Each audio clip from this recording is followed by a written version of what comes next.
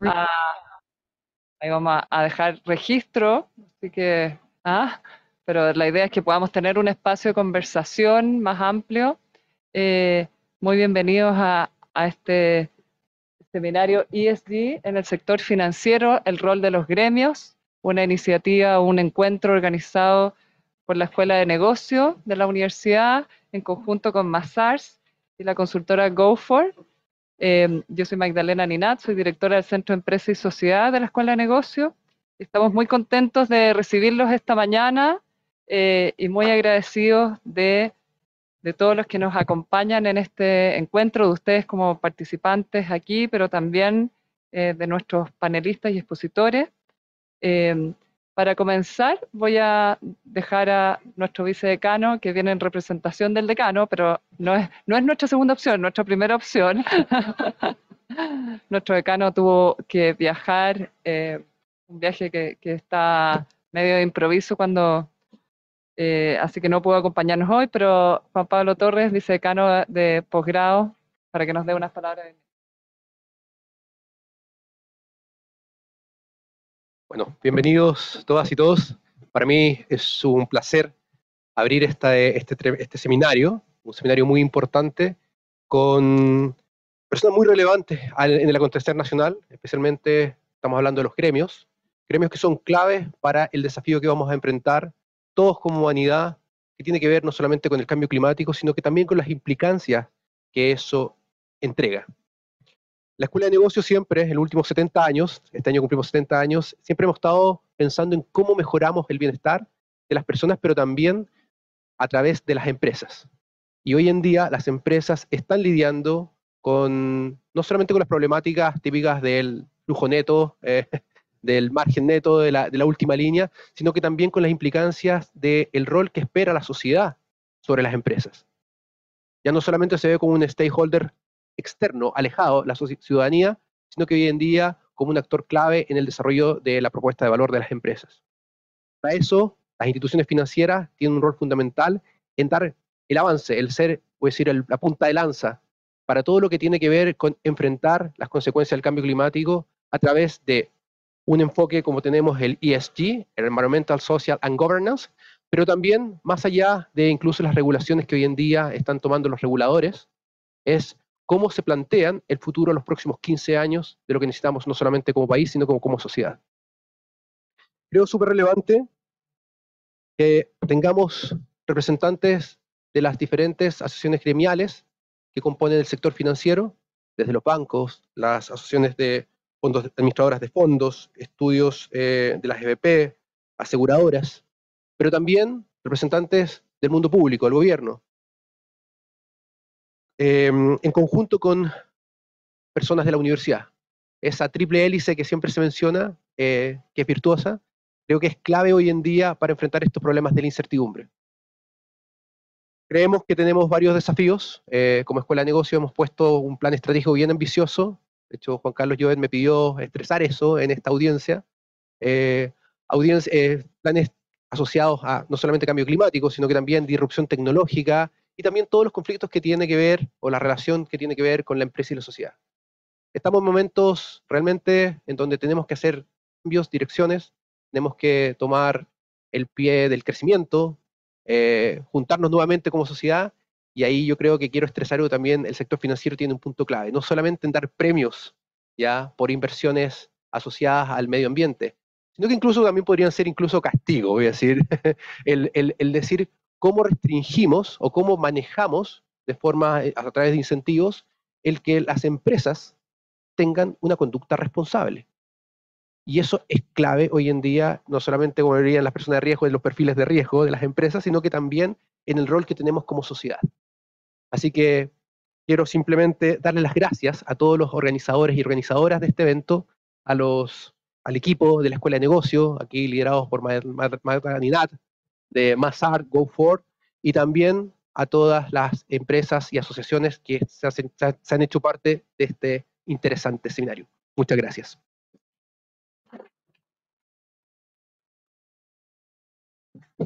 Muchas gracias, eh, Juan Pablo. Juan Pablo mencionaba que tenemos representantes del, del, sector público que creemos que es muy importante para impulsar esta conversación, así que quiero dar la bienvenida a María Paz Gutiérrez, que es asesora del Ministerio de Hacienda en el ámbito de finanzas verdes.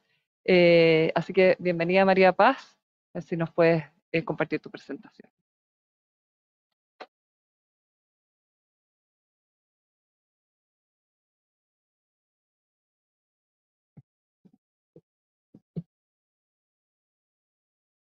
Esa es. ¿Ahí se escucha? Eh, bueno, buenos días a todos y todas em, los que están acá presentes. Bueno, antes de comenzar, me gustaría agradecer a Mazars, a GoFor y a la Escuela de Negocios de la Universidad Adolfo Áñez por organizar este seminario y por invitarnos a nosotros, Ministerio de Hacienda, a participar de él. Y bueno, un, especial reconocimiento acá em, al vicedecano Juan Pablo eh, Torre em, por la bienvenida y a todos los panelistas y asistentes que hoy, que hoy nos acompañan. Eh, es un honor para mí hoy día poder contarle eh, cómo desde el Ministerio de Hacienda nosotros vemos nuestro rol em, y qué estamos llevando a cabo en materia de, finanzas sostenibles. Eh, me gustaría empezar por algo que ya es un hecho establecido, diría yo, algo que, que se encuentra institucionalizado y es que Chile como nación, Chile incluso como Estado, eh, está comprometido con, enfrentar esta, esta, crisis climática y de biodiversidad. Eh, y esto se puede notar claramente eh, cuando indagamos la cantidad de instrumentos de gestión de cambio climático, de biodiversidad, de desarrollo sostenible que existen hoy en día. para que tengan una idea, son uno de los pocos países que tenemos Em, de manera vinculante nuestra, nuestra, el, compromiso de carbón neutralidad al 2050. O sea, la ley marco de cambio climático hace vinculante ese compromiso. Eh, somos uno de los pocos países que también tenemos una estrategia climática a largo plazo que tiene medidas específicas, compromisos específicos al 2030, al 2050 que tenemos que llevar a cabo. Em, y los ministerios de Hacienda acá tienen un rol fundamental. O sea, si queremos llevar a cabo estos compromisos y queremos eh, pararnos ante un desarrollo sostenible, resiliente al clima. Eh, la verdad es que eh, los ministerios de Hacienda tienen este papel eh, fundamental y por qué. Por un lado hay que entender que supervisamos el gasto público y por ende vamos a determinar cuánto es el esfuerzo fiscal que se destina a afrontar, por ejemplo, el cambio climático y a desarrollar a, a cosas de desarrollo sostenible. También somos quienes establecemos los impuestos y subsidios fiscales eh, por ende, jugamos un papel clave en, las decisiones, inversiones em, y operaciones del, sector privado. Em, tenemos un, papel central en la gestión de la deuda pública, y ahí voy a entrar más en detalle de, lo que hemos hecho al respecto en eso. Em, ayudamos a movilizar recursos privados eh, mediante no solo el, el, tema de impuestos y subsidios fiscales, sino que también eh, pueden ser incentivos e implementación de, reformas regulatorias que puedan desarrollar nuevos mercados, por ejemplo. Eh, jugamos un papel central en, la coordinación de la acción gubernamental y la cooperación internacional. Esto es algo que, muchas veces no se conoce, pero los ministerios de Hacienda son eh, contrapartes privilegiadas de los bancos multilaterales de desarrollo. Entonces, la verdad es que tenemos mucha facilidad para conducir financiamiento y asistencia internacional. Eh, y por último, también eh, jugamos un papel importante en todo, en todo lo que es gestión de inversión y contratación pública. Eh, y nuestro Ministerio de Hacienda, la verdad es que ha comprendido esto y, y, y, yo diría que lo comprendió hace muchos años. O sea, todos estos temas parten el 2019 yo estoy desde más o menos ahí y lo primero que se hace es una estrategia financiera eh, del Ministerio de Hacienda en torno a un desarrollo sostenible y resiliente que tiene cuatro pilares. Eh, por un lado, el primer pilar es todo el tema de enverdecer las finanzas, cómo mediante la generación de información enverdecemos el sistema. Luego un segundo pilar que habla de financiar lo verde. Una vez que ya tenemos este sistema enverdecido, cómo em, movilizamos financiamiento hacia la acción climática ambiental. Y un tercer pilar que no es menor y que la verdad es que nos, nos quita eh, mucho tiempo en nuestra agenda es cómo posicionamos a Chile como un líder regional en temas de finanzas eh, verdes y cómo al final del día capturamos como esta oportunidad que trae em, este, este, tema del desarrollo sostenible y, los cambios que hoy en día estamos viendo. Entonces, entrando em, en las líneas de trabajo que tenemos bajo cada uno de estos ejes, em, actualmente tenemos ocho grandes líneas de trabajo desde el Ministerio de Hacienda.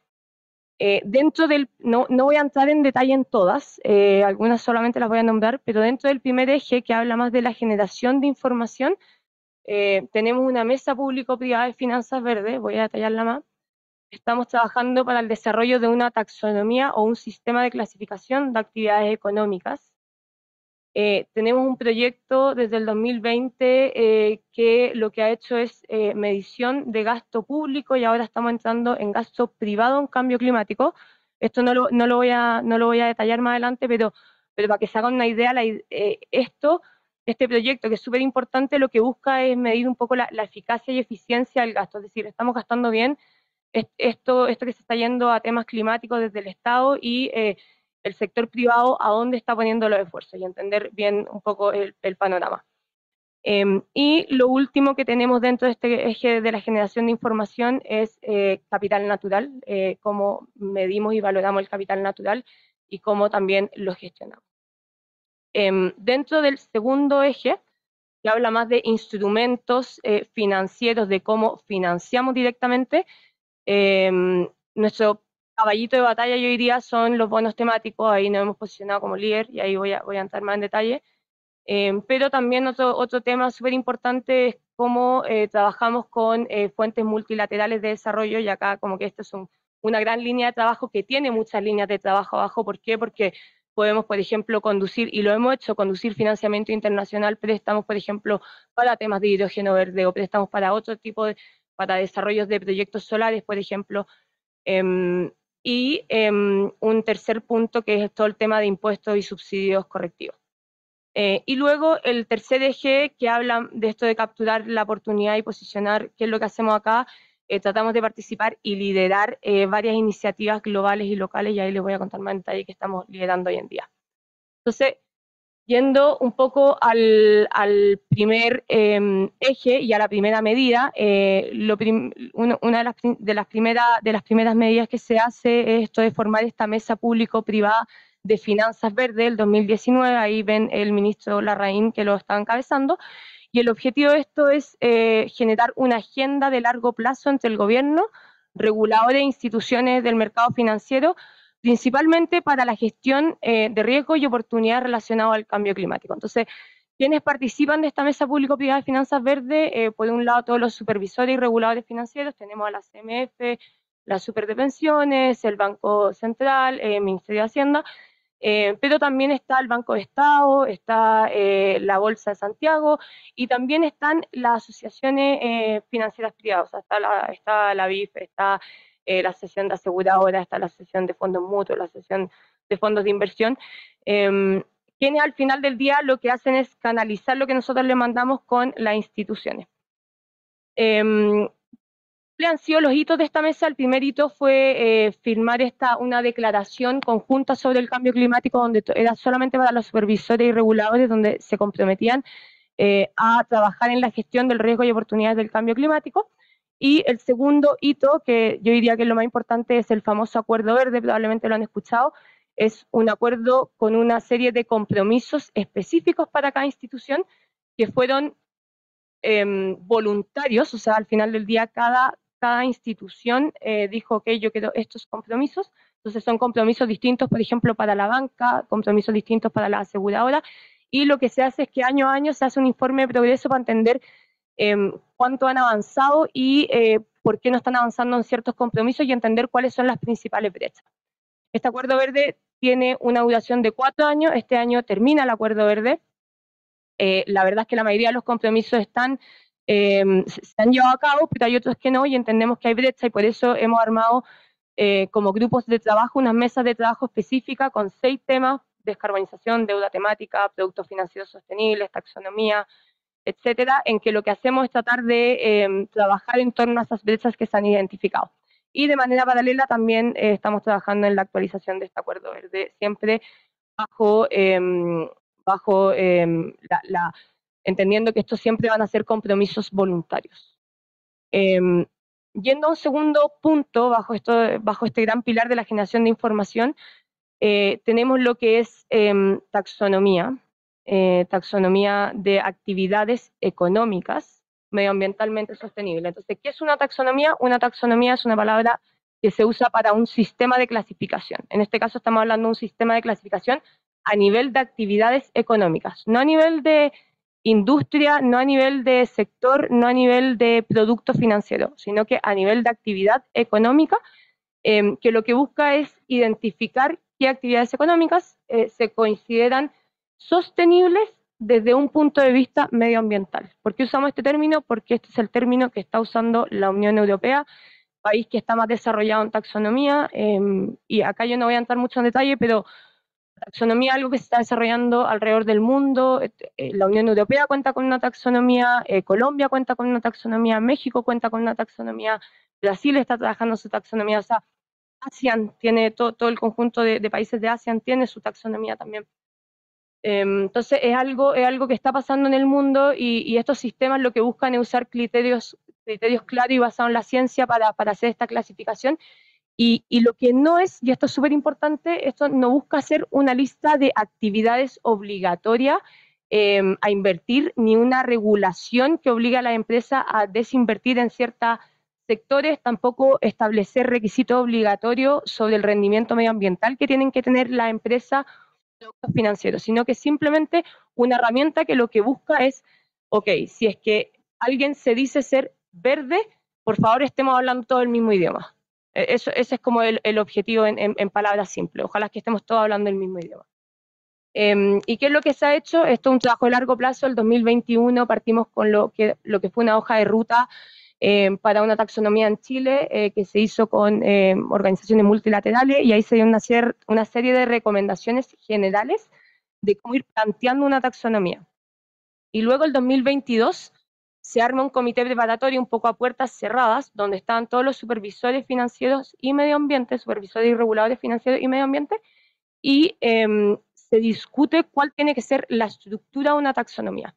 Y en base a eso es que nosotros este año publicamos la estructura de nuestra taxonomía. No es la taxonomía per se, sino que es la estructura, es decir, cuáles son los objetivos, cuáles son los sectores que vamos a priorizar en un primer borrador, eh, cómo, cómo va a ser la gobernanza, qué actores entran en la gobernanza, en qué tiempos entran estos actores, em, y una serie de medidas para que vayamos desarrollando el contenido de la taxonomía, entendiendo que el contenido lo tenemos que desarrollar con muchos actores porque son contenidos técnicos específicos para cada sector. Entonces, no lo puede desarrollar haciendo. O sea, tenemos que em, hacer un trabajo colaborativo. Em, yendo al, tercer, em, a una tercera iniciativa en, este tema de, la generación de información, lo, que, lo, que vemos, lo que empezamos a ver el 2021, yo diría, es que no teníamos ninguna medida de capital natural. Eh, ¿Y qué es el capital natural? Eh, prácticamente son los activos naturales que corresponden a activos biológicos, zonas terrestres, acuáticas, con sus ecosistemas, activos de subsuelo y aire, y que lo importante es que proporcionan insumos de recursos naturales y servicios ambientales para la producción económica. O sea, esto es pensando en la producción económica, ¿ya? Eh, y em, en base a eso es que eh, se crea un comité asesor presidencial em, de capital natural que se promulga a principios de este año y que la misión es eh, asesorar y proponer acciones al presidente en términos de cómo vamos a ir valorando este capital natural eh, y también cómo se va a ir gestionando. ¿Y quiénes participan? está el Ministerio de Medio Ambiente, quien tiene la presidencia, estamos nosotros, Ministerio de Hacienda como, como secretarios técnicos, Ministerio de Economía, Banco Central como asesoría técnica permanente y el Consejo de Ciencia, Tecnología e Innovación también como eh, asesoría técnica permanente. Esto es un proyecto de súper largo plazo. Para que tengan una idea, eh, UK es el único país que ha desarrollado esto y ha demorado 10 años. Em, entonces, es un proyecto a largo plazo, pero ¿por qué es importante? Porque al final del día nos va a permitir medir el, deterioro de nuestro ecosistema em, y su repercusión en el bienestar económico y humano. También nos va, nos va a ayudar a tener más precisión sobre las estimaciones de nuestro crecimiento productivo Em, y obviamente también nos va a ayudar a movilizar financiamiento a iniciativas relacionadas con biodiversidad y también entender y, planificar bien el desarrollo de nuevas industrias como podría ser el hidrógeno verde. Em, pasando al segundo eje, acá ya pasó al eje más de instrumento, em, quiero hablar de, bonos temáticos, bonos soberanos temáticos, o sea, desde, desde el gobierno. Em, y esto es súper importante porque, porque se ha vuelto algo fundamental para la estrategia de, financiamiento del país. Y eh, hoy en día Chile es, un, o sea, Chile es un líder muy claro en, en este mercado de bonos soberanos ESG. Eh, para que tengan una idea, en, junio del 2019 Chile fue el primer país de América en emitir un bono verde. Em, luego, en el 2022, Chile fue el primer soberano en emitir un bono linkeado a sustentabilidad. Esto es un bono distinto donde el uso de recursos no va a proyectos específicos, como sería un bono verde, sino que, los sino que son bonos que están em, anclados a una meta específica, la cual si no se cumple hay un castigo en el cupón del bono. Entonces al final del día es una forma de hacer financieramente importante o vinculante una meta. Em, y luego ya en 2023 Chile también se convierte en el primer soberano en agregar un, objetivo de igualdad social y género a una nueva emisión de bonos eh, a sostenibilidad. Em, hoy en día nuestro 35% del de deuda em, es bonos, corresponden a bonos temáticos, a bonos ESG. Eh, y a nivel mundial estamos primeros en el ranking em, en términos de stock em, relacionado a este tipo de bonos. Pasando un poco al, último pilar, em, ¿qué es lo que estamos haciendo para posicionarnos como líderes? Chile lidera la creación de la plataforma de ministros de finanzas para el cambio climático, que es una plataforma eh, que la lleva a cabo el Banco, el Banco Mundial con el FMI. Eh, Chile tomó el, liderazgo, el Ministerio de Hacienda tomó el liderazgo em, en inicio. Hay que entender que son más de 70 países miembros y además hemos sido eh, caso de estudio para, para, para muchos análisis que se han hecho. Actualmente también tenemos la presidencia de la Plataforma Regional de Ministros de Finanzas eh, para el Cambio Climático, que es una plataforma del BID. Eh, tenemos un rol activo en la definición de la nueva meta colectiva de financiamiento eh, que se discute en la COP, que es una meta de financiamiento a nivel de los países miembros de, la COP. Em, y la verdad es que también participan en una serie de otras iniciativas, como es el Fondo Verde para el Clima, subgrupos de la Alianza del Pacífico, em, grupos de data para, para, lograr estandarizar data, por ejemplo, en términos de emisiones de la empresa, y tenemos un rol súper protagonista en eso como Ministerio de Hacienda. Em, y, eso es lo que la verdad es que eh, eh, hemos hecho en, este, en, este, en este pilar. Y ya como mensajes finales, em, uno, em, creo que es súper importante entender que el Ministerio de Hacienda ha reconocido eh, su papel clave en, este, en, el desarrollo sostenible y ha establecido una agenda que es bien proactiva. Em, ¿Y por qué? Porque vemos que Chile podría estar frente a una oportunidad de dar un salto fundamental en su desarrollo económico, en la medida que sepa capitalizar las posibilidades que entrega una economía robustecida en prácticas sostenibles, resiliente también a los impactos del cambio climático y de la pérdida de biodiversidad. Eh, pero también entendemos que para concretar esto eh, necesitamos de una acción eh, coordinada, de una colaboración efectiva entre distintos actores, donde las alianzas estratégicas, el papel del sector privado, las sinergias, las sinergias público-privadas, eh, como también las colaboraciones con organismos multilaterales son fundamentales. Em, y nosotros como desafío em, interno, la verdad es que vemos em, como algo urgente poder avanzar más rápido en todo el tema de levantar datos y generación de información. Eh, ¿Por qué? Porque uno nos va a permitir eh, identificar con más precisión dónde están las principales lagunas financieras para alcanzar como los compromisos que tenemos en materia de biodiversidad y cambio climático, logrando cada vez enfocar mejor nuestra estrategia financiera y por otro lado también em, proveer al, mercado definiciones claras sobre sostenibilidad, que sería el tema de la taxonomía em, a nivel nacional, y también em, poder proveer al mercado definiciones claras sobre cómo eh, llevar a cabo la valoración económica de los servicios ecosistémicos para guiar las inversiones y eh, políticas futuras. Eso, más que nada.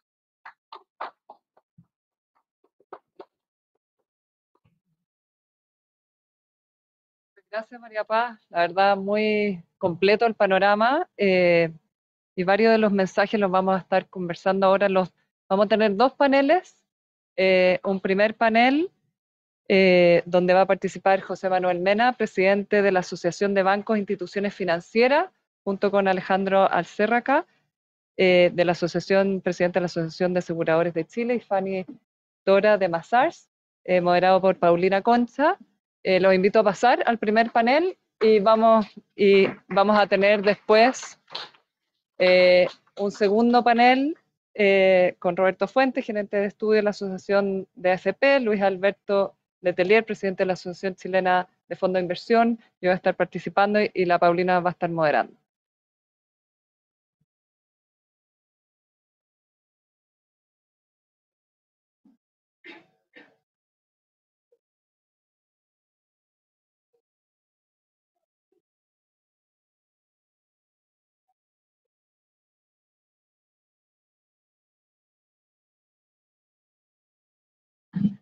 Para que estemos todos alineados.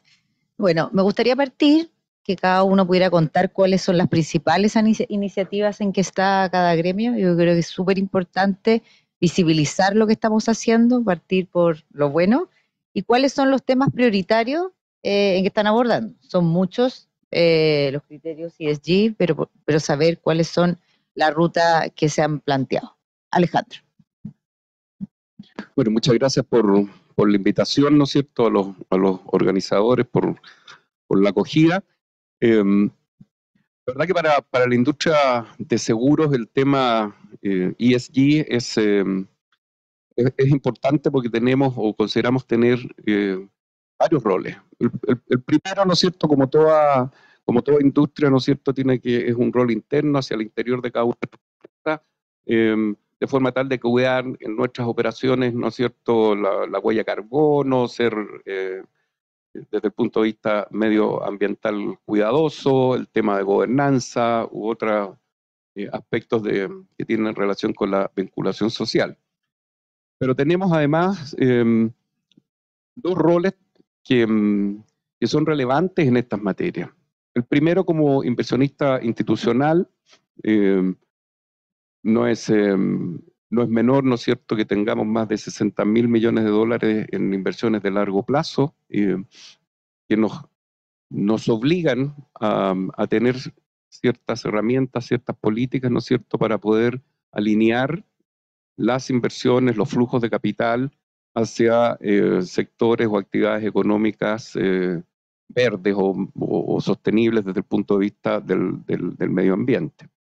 Y a, propósito del mismo medio ambiente, también nosotros en nuestro negocio somos expertos en la gestión de riesgos, ¿no es cierto? A eso nos dedicamos.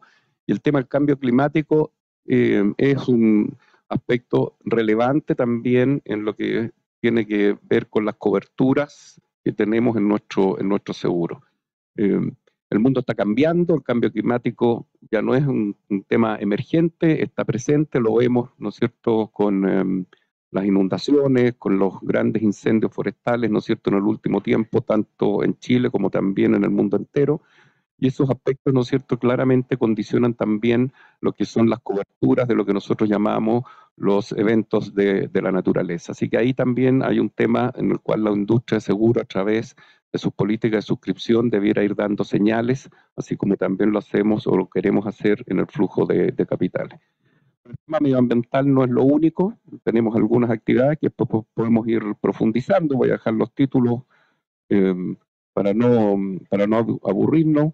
Eh, de vinculación con el entorno, la asociación firmó un, convenio, ¿no es cierto?, un acuerdo con la corporación 3 por I, no sé si ustedes la conocen, pero es una corporación, ¿no es cierto?, que se dedica a juntar como ellos se definen los, los pares improbables, o sea, aquellos, aquellas instituciones o instancias en que generalmente no, no conversan. En el caso nuestro, formamos un programa que llamamos Juntos con los Mayores, cuyo objeto es eh, trabajar con el adulto mayor para mejorar su incorporación hoy día al, al mundo, ¿no es cierto?, dado las nuevas características, eh, sobre todo en materias de, de longevidad.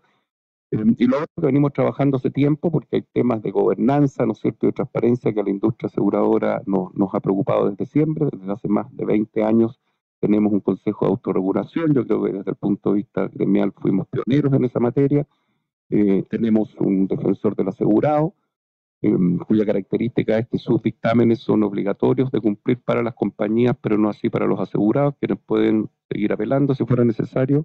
Tenemos un compendio de buenas prácticas, y lo más importante que para pertenecer a la asociación, cada compañía tiene que adherir de manera obligatoria a todo este entorno de autorregulación, lo cual también ah, apunta a mejorar la, transparencia y em, los aspectos más de sostenibilidad o sociales o de gobernanza del, mundo ASG. Eso. Muchas gracias, José Manuel. Bien, gracias por la invitación. Eh, el, tema SG tiene, tú lo mencionaste, múltiples eh, puntos. Quiero, antes de entrar más específicamente, entiendo que vamos a tener dos rondas, eh, también poner un contexto que, que, puede que todos conozcamos, pero creo que es importante ponerlo en primer término. Chile, si lo miramos solamente desde el punto de vista ambiental, somos un país extremadamente pequeño 18 millones de habitantes. Eh, nuestra incidencia en el calentamiento es del 0,23% en términos mundiales.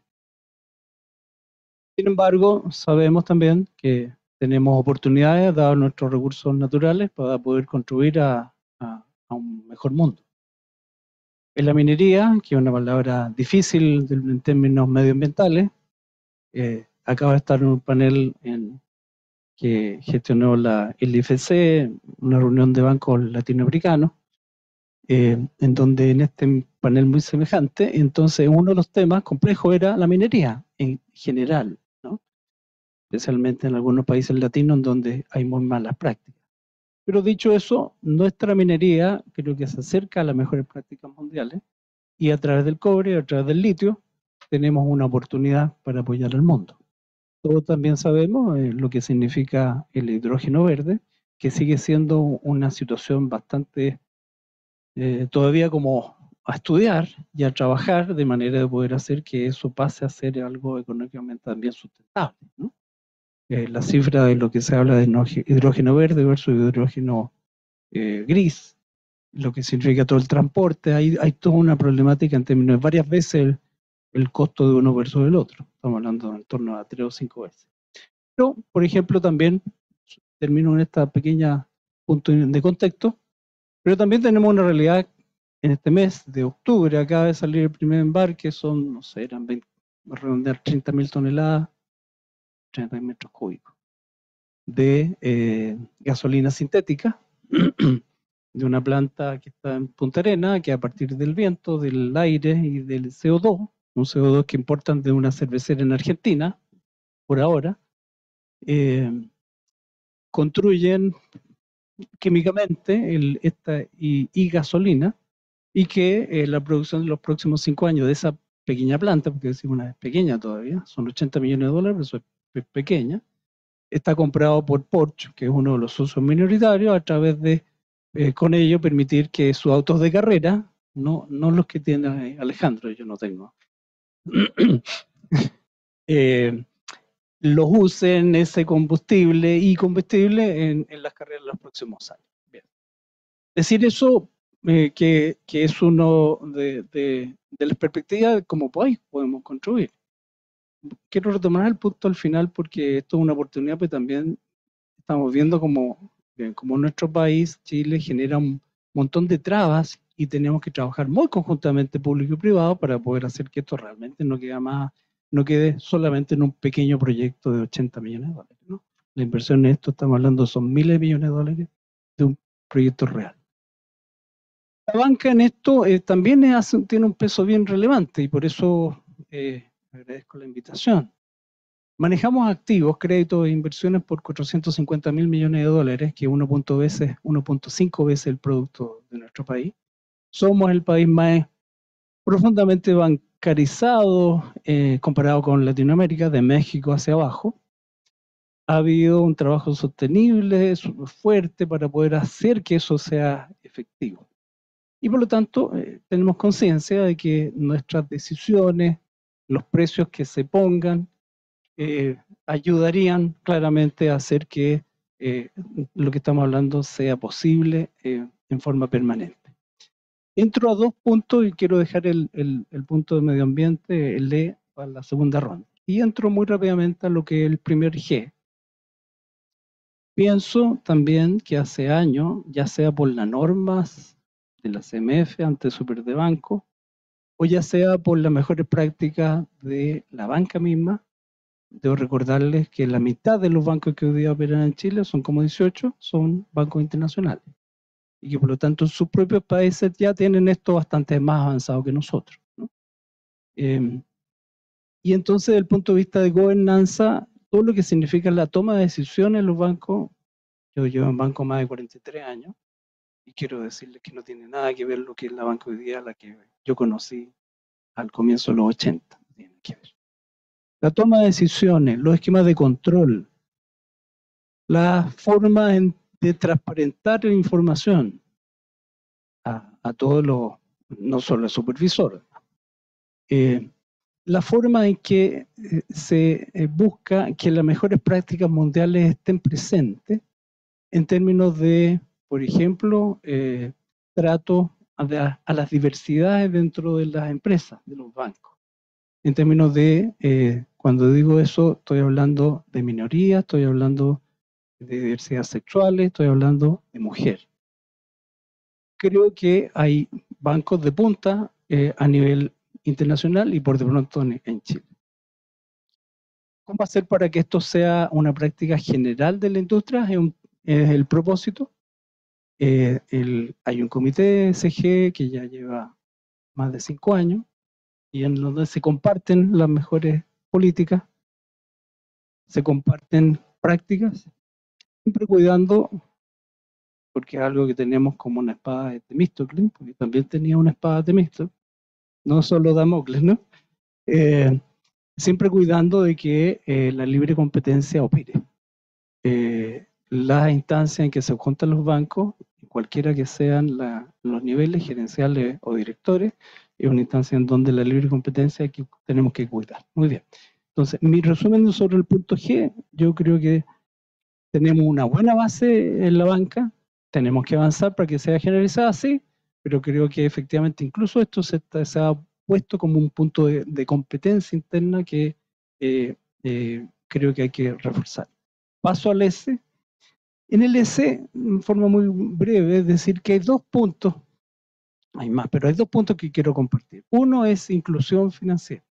Socialmente, la banca permite que los ciudadanos eh, de nuestro país vivan, trabajen en el siglo XXI. Mis papás nunca tuvieron cuenta corriente, nunca hicieron un cheque, porque no calificaban. Solo les recuerdo que para abrir una cuenta en los años 60, en un banco grande, había que tener, había que ser presentado por un cuenta correntista de ese banco. Si no, no eras del club. Era así. Luego, mi punto es que hoy día hay más de 30 millones de cuentas en nuestro país. Hoy día me quedo en cuatro productos básicos, medios de pago, ahorro, seguro, eh, y crédito sano son los cuatro pilares que no son un lujo, son parte de la necesidad de vivir en el siglo XXI. No quiero entrar en ese detalle, pero ciertamente que cuando uno escucha a la gente de México o la gente de Ecuador, comprende cuán distintos son nuestros países, nuestras sociedades. La posibilidad de haber canalizado eh, subsidio, mejora a las personas a partir del COVID, la posibilidad de que nuestra economía haya seguido funcionando, eh, hay una gran diferencia a través de las cuentas, en definitiva, hay una tremenda diferencia con los países que menciono, y por supuesto, si esa realidad de una epidemia como la que tuvimos hubiera sido 20 años atrás, habríamos tenido otro impacto en nuestra economía.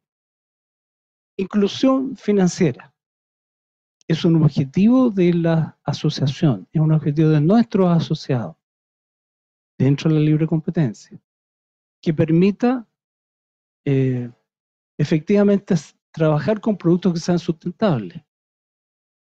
Alguien me puede decir, oye, pero con, ustedes, con esto con ustedes ganan plata. Necesitamos que los productos sean sustentables. Solo les recuerdo eh, cuando en torno al año 2000, siendo gerente general del Banco Estado, y intentando crear la filial de microcrédito, que no existía, la consigna en la sociedad, en una parte de la sociedad, es que decía que con la pobreza no se debe lucrar. Hasta que pudimos traer a Muhammad Yunus, lo tres veces, me tocó conocerlo y tuve la posibilidad de invitarlo, para comprender que en realidad estamos hablando de eh, no de un, de un, regalo, sino que de dignidad, de dar un crédito y cobrarlo. Y eso era dignidad, no una dádiva que uno lo da como una fundación de arriba. Solo menciono el concepto porque eh, los productos tienen que ser sustentables. La cuenta RUT tiene que ser sustentable, las cuentas vistas tienen que ser sustentables. Eh, y, pero no por ello eh, vamos a generar trabas para que masifiquemos aún más los productos. Los que estamos en esta sala seguramente pertenecemos al estrato en donde nos parecemos a Suiza. todos somos rubios, por lo que veo. A mí se me cayó parte del pelo, pero era rubio. Eh, pero ciertamente que hay una parte de nuestra sociedad que no tiene estos cuatro productos y una parte todavía mantiene una cuenta de ahorro que es del siglo XIX o tiene una tarjeta de crédito que es de 1950. Y, hago el énfasis, no, me quiero extender. Termino eh, diciendo que el otro gran pilar en términos de, de, de ese tiene que ver con educación financiera.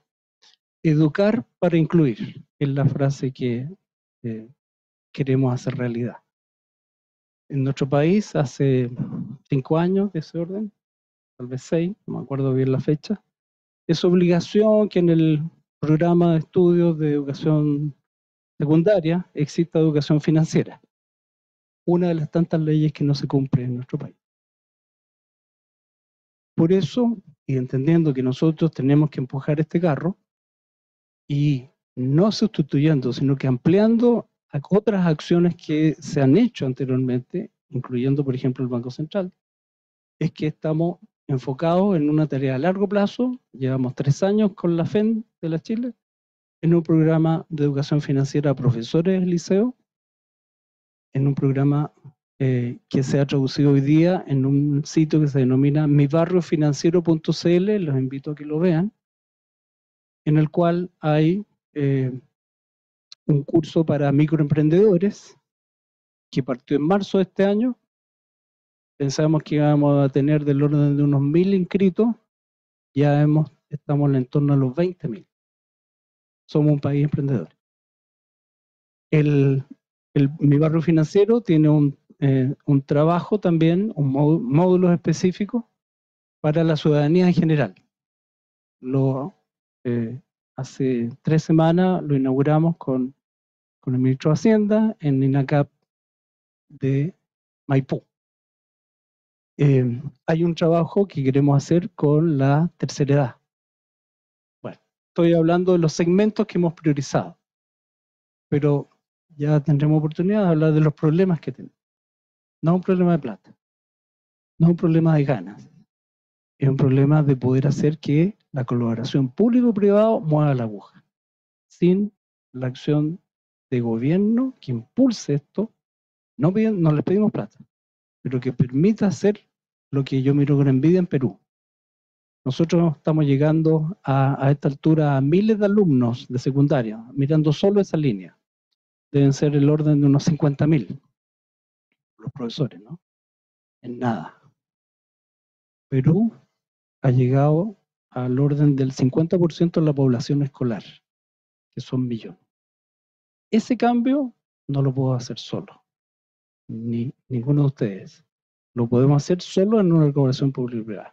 Termino en esta parte y, en términos de decirles que estoy contento por otro lado porque esta semana y en la próxima tengo unas reuniones con la Armada de Chile y con Carabineros que quieren, a partir de los módulos que ya, ¿cierto? A mi gusto es, lo que ya está trabajado es muy bueno, por eso lo invito a mirar el mibarriofinanciero.cl. Ambas instituciones lo que quieren es programa de educación financiera para sus alumnos. Ojalá pueda hacer lo mismo en un acuerdo con la SOFOFA, en un acuerdo con la Cámara del Chile de Construcción. Estamos trabajando en esa vía también. Con la Cámara Nacional de Comercio eh, también tenemos una línea de trabajo que permita masificarlo. No me interesa que aparezca el logo de la asociación, no me interesa que aparezcamos los bancos, me interesa el objetivo, es el acuerdo del directorio, de poder hacer que al final de esta década podamos hacer un cambio a la pendiente, porque hoy día estamos eh, en términos comparativos latinoamericanos la parte baja del estrato. Eso. Muchas gracias. Bueno, ahí empiezan a, comienzan a responder la siguiente pregunta, pero en términos más generales, eh, habíamos comentado sobre, el rol del gremio, ¿ya? Más allá de los temas específicos, ¿ya? Hablamos que había un rol de mostrar buenas prácticas, mostrar regulaciones, pero hay otras cosas que queríamos saber cómo lo ves, de generar compromisos. Habíamos hablado que generar estándares era difícil porque era regulado, eh, de acompañar a las empresas, de medir. No sé si están visualizando como un rol más de ir eh, trabajando en conjunto con los, sus asociados este tipo de cosas y las complejidades que tienen. Mira, em, primero que, hay que como decía al principio, hay que tener claro cuál es el rol de la, industria aseguradora. Es cierto que podemos acompañar, pero, pero no es nuestro rol, ¿no es cierto?, hacer o impulsar el, el, que el, país, la economía, las actividades económicas, ¿no es cierto?, tengan una preocupación, por ejemplo, con el, con el medio ambiente. Que obviamente podemos avanzar en muchas cosas, sí. Em, pero no solo en la parte medioambiental. Eh, yo creo que el tema de los desafíos del, que, trae, digamos, en, general las materias ESG, eh, nos permiten también abordar ciertos, cierta temática que hoy día eh, está presente en Chile y, también en el mundo, que tiene que ver, por ejemplo, con la crisis de confianza que tenemos en las instituciones. Em, hay un tema, digamos, de legitimidad social, no solo del, del, mundo privado, sino que también del mundo público, organizaciones sin fines de lucro, empresas, hasta clubes deportivos, ¿no es cierto? Eh, en que la sociedad como, como un todo, ¿no es cierto?, está un poco escéptica. Y, y yo creo que el, que, el, que el, mundo ESG también nos permite abordar ese tipo de desafíos, particularmente en nuestra industria, nosotros, eh, ¿qué es lo que en definitiva ofrecemos o comercializamos? Comercializamos una promesa. La persona al momento que paga la prima no recibe nada de su compañía aseguradora. Recibe solamente un compromiso, una promesa, ¿no es cierto?, de distintos plazos, será un año para las pólizas, ¿no es cierto?, vehículos o vitalicio en el caso de una, una pensión, eh, que la persona tiene que confiar en esta industria, ¿no es cierto?, eh, y, por lo tanto tenemos que trabajar en la legitimidad social para poder entregarnos, ¿no es cierto?, eh, el pago de la prima solo confiando en una promesa que le hace la industria segura. Yo creo que en esa, en esa materia hay, eh, nuestra industria, ¿no es cierto?, eh, eh, es particularmente vulnerable. Em, mm, sin desmerecer, digamos, a, ninguna industria, pero en el caso, digamos, de, que, hablaba Pepe, la gente va, se lleva un crédito se va feliz con el crédito. No sé si después está feliz cuando paga las cuotas, pero cuando recibe el crédito, ¿no es cierto? Y sale del, del, banco y ve en su cuenta corriente, se va feliz. En el caso nuestro, se va con dudas y por lo tanto el tema de la confianza es súper importante. De manera que avanzar en, esa, en esas materias creo que también eh, la podemos abordar a través de los gremios. Y por eso que yo hablaba, por ejemplo, del tema, del tema de autorregulación, Hoy día nuestro Consejo de Autorregulación em, es, reactivo, ¿no es cierto? Se presenta un problema emite un dictamen o a solicitud de alguno de los, de los asociados, ¿no es cierto?, se preocupa de una determinada materia. Lo que nosotros queremos impulsar hoy día eh, es que sea proactivo, que sea adelante. Tenemos que eh, asumir que la sociedad evoluciona mucho más rápido que las instituciones y si nosotros no le ponemos acelerador, ¿no es cierto?, en el entorno asegurador, vamos a seguir generando brechas de confianza eh, y eso es particularmente malo para la industria y también para el país pensando en objetivos de, ESG. Muchas gracias. Eh, comentando un poco lo que decía José Manuel con respecto a la necesidad de trabajar eh, coordinados con otros gremios, eh, tú hablabas de las ramas de la CBC, que es súper interesante. conversamos ayer que el sector no trabajan en conjunto más que con Hacienda. No hay una mesa eh, entre los sectores. Entonces quería preguntarle, Fanny, ¿cuál crees tú que es el valor de trabajar en conjunto, más allá del trabajo con Hacienda? Gracias. Em, yo creo que el, sector financiero en sí em, tiene desafío conjunto. Ya eh, algunos que mencionaba em, cada panelista acá, o sea, tanto aseguradora como banca y, los que vamos a ver después, finalmente tienen un público común, eh, que van a ser empresas grandes, medianas, chicas, individuos, ¿no? Y cuando hablamos de los temas ESG, lo que vemos cada vez más ahora es que el sector financiero está solicitando información a esas entidades para conocer su huella de carbono, para conocer su desempeño social, sus eh, prácticas de gobernanza, etcétera. Y al multiplicarse esas solicitudes, eh, las empresas grande, mediana, chica, eh, en algún momento ya van a sofocarse y decir, ¿sabe qué? No voy a responder 20 solicitudes y además reportar al estándar internacional cuantito y a la norma de la CMF. O sea, voy a elegir voy a tener que elegir qué seleccionar o simplemente no lo voy a poder hacer, quizás si yo soy una empresa más mediana o chica y quizás me voy a perder una oportunidad de crédito, eh, me voy a perder oportunidades financieras porque no voy a tener los recursos para reportar. Em, nosotros en el, grupo Mazar a nivel internacional hizo una, una encuesta hace em, este año, el C-Suite, donde se entrevistan a ejecutivos de, de todo el mundo. Y en la parte de ESG se preguntaba si tenían presupuesto ESG eh, previsto para el año siguiente. Sí. ¿Cuál es el primer ítem de presupuesto de recurso ya designado para otro año para tema ESG? Reporte. La estrategia viene así como al final. Eh, debida diligencia en derechos humanos al final. O sea, todo lo que es acciones viene después del el reporte. Necesito recurso para reportar. Está bien, el sector financiero necesita esa información para saber cómo la empresa mitiga sus riesgos, pero reportar en sí no, no gestiona riesgos. O sea, reportar un indicador no hace mover el indicador. Entonces, yo siento que, que, mm, hay una necesidad igual a nivel de ecosistema y, un poco, bueno, la, norma eh, 401 de la CMF buscaba eso, alinear indicadores para los inversionistas, hay estándares internacionales que también buscan eso bajo la Fundación IFRS, armonizar estándares. Entonces hay distintos, eh, distintos actores que se preocupan de atender esa necesidad, de armonizar, eh, que no es fácil. ¿no? Eh, para tener norma contable internacional no hemos demorado que 100 años, 150 años. entonces, igual hay que darse el tiempo de hacerlo bien, pero, pero siento que, que, que eso es un desafío igual que, que tienen como dentro del sector financiero y, para, que, para que sea eficiente esto, para que realmente lo de incorporar temas ESG se trate de em, gestionar riesgos, eh, crear valor eh, y que uno no, no, pase más tiempo en hacer otras cosas. Y, y también, eh, y un poco retomando lo que mencionó Alejandro en algún momento, em, de qué necesidad, eh, necesitan, por ejemplo, eh, nuevos tipos de capacidades de formaciones. El sector financiero necesita hoy cada vez más personas que saben em, evaluar cuál va a ser el impacto, riesgo financiero del, del cambio climático sobre las inversiones. ¿Quién sabe hacer eso hoy bien? No son muchos. No son muchos.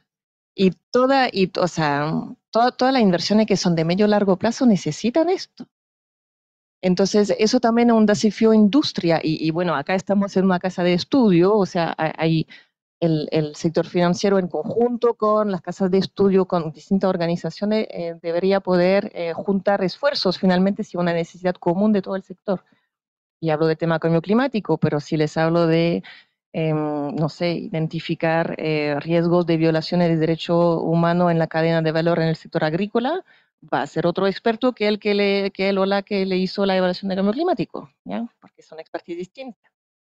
Entonces, to- to- todo esto también es una necesidad que eh, yo creo que, lo, que, como ecosistema se debe abordar. Ya ninguna entidad sola va a poder formar toda esta persona.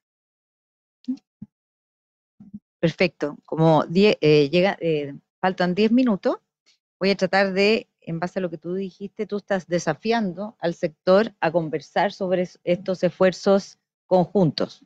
Y nos parece, de alguna forma, cuando decidimos eh, organizar este seminario, queríamos desafiarlos a estos temas. Probablemente estos compromisos o po- posibles acciones conjuntas eh, no los vamos a lograr hoy día, pero quizás podríamos después eh, continuar este trabajo para ver si podemos apoyar desde la universidad todos estos temas.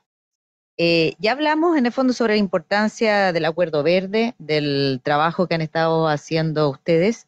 Y para finalizar, me gustaría eh, poner sobre la mesa, una mes- una- un tema como más eh, disruptivo, eh, que nos parecía interesante. Eh, hemos visto que en la prensa, ciertos libros y en redes sociales han surgido ciertos cuestionamientos y debates de la forma de incorporar aspectos ESG. Eh, han habido condenas a instituciones financieras por greenwashing y se cuestiona la legitimidad y calidad de las calificadoras ESG. Un ejemplo son las tabacaleras, que tienen muy buenos indicadores ESG, pero ta- tenemos también una visión que es compleja al respecto. Entonces, ¿cuál es la visión como industria de estos cuestionamientos? Eh, han trabajado en estos años las calificadoras, eso me gustaría después que Fanny nos comentara, en estos temas y cuál es la visión eh, de esta dificultad. Me gustaría primero que José Manuel eh, nos comentara sobre este cuestionamiento, que es de dónde salen estos lineamientos, por qué nos están pidiendo esto y quién los está definiendo por nosotros. Sí, en lo que al menos yo he visto es eh, efectivamente una necesidad de que la información sea verificable y que el greenwashing sea una práctica eh, castigada eh, socialmente. Y en ese caso lo que puedo decir dos, dos cosas. La, primero los bancos ustedes deben tenerlo claro, los refuerzos. Los clientes principales nuestros no son los que nos deben plata los clientes principales nuestros son los que nos entregan su plata, los depositantes. Y ese es un equilibrio complejo, delicado, que se basa básicamente en la, en la solvencia y en la confianza. De manera de que si un banco tuviera un problema de greenwashing importante, socialmente va a tener un problema mayor. Los bancos no quiebran por la, por la cartera de crédito, quiero decirle. Los bancos quiebran porque se le va la plata si no miremos Silicon Valley, lo que ha pasado recientemente. No es por cartera de crédito, principalmente. ¿Qué nos interesa a nosotros en ese sentido? Eh, y aquí entro al punto que dejé dejado atrás. Eh, yo no conozco ninguna acción de, de banca chilena que sea eh, condenable en, en la línea que tú planteabas sí veo que hay muchas necesidades de avanzar más rápidamente. La banca chilena efectivamente se ac- acogió al, el año 19 al Acuerdo Verde, después en julio del 2022 eh, eh, adherimos como sponsor a los principios de la banca responsable de- del, del UNEP 5 de Naciones Unidas. Eh, y en mayo de este año nos constituimos como miembro del Sustainable Banking and Finance Network, eh, SBFN, FN del IFC. Eh, ¿Pero qué problemas veo? Bueno, hay varios. Lo primero es que me da una envidia en el panel que estuve recientemente, escuchar a México, escuchar a Brasil y escuchar a Colombia. Estamos atrasados. En efecto, el, año 19, o sea, llevamos cuatro años, y- y nuestra disposición es poder colaborar para que podamos tener una taxonomía pronto. Pronto. Yo personalmente hablé los presidentes de la CMF actuales y anteriores, con el Banco Mundial, intentando acelerar esto. Nuestra disposición es que requerimos que un acuerdo público-privado que podamos darle eh, mayor ritmo. Si eh, los privados podemos apoyar más allá de opinar, eh, porque así yo entiendo la gobernanza actual que está, que vamos a, vamos a tener un rol revisor de ciertos elementos. Lo que yo he escuchado de otros países es que eh, la medida que se armó una, mm, un grupo de trabajo activo, público y privado, esto avanzó. Colombia fue el último, el año pasado, en un año sacó la taxonomía, con el apoyo del Banco Mundial. Eh, y me parece eh, eh, temas de, de adjetivos que debería tener la taxonomía, eh, que sea aplicable a nuestro país, se entiende legítima, hay una palabra ahí, y que sea interoperable, comparable ojalá con otras eh, jurisdicciones. Que teníamos que tener un cuidado con las MIPIMES. Fue un tema del FC, que lo dijo, hay un documento que acaba de salir del FC sobre cómo hacerlo mejor, mejor práctica en el tema de, las MIPIMES. Eh, si lo podemos lograr, yo esperaría que el 2025 tuviésemos una taxonomía terminada, ojalá, ojalá. Eso significa poner ritmo para, para el año que viene. Eh, esta es mi última ronda, ¿no? Quiero terminar con dos cosas. Me voy a, me voy a tomar 30 minutos más, no más. La, la primera es que eh, decirles que todas las acciones que los bancos tomamos, especialmente en términos de orientación de crédito, lo que se denominan actividades de economía verde, no están exentas de riesgo como lo- todas las acciones de los bancos. Si los bancos gestionamos riesgos, todas las decisiones, todos los días tomamos riesgos en diversos ámbitos. Y es cosa de ver cómo la banca chilena financió proyectos eólicos y proyectos de parques eh, solares, y a algunos bancos les fue muy mal. O sea, no cualquier decisión de crédito verde por sí sola es buena. Segundo, esto es un cambio cultural.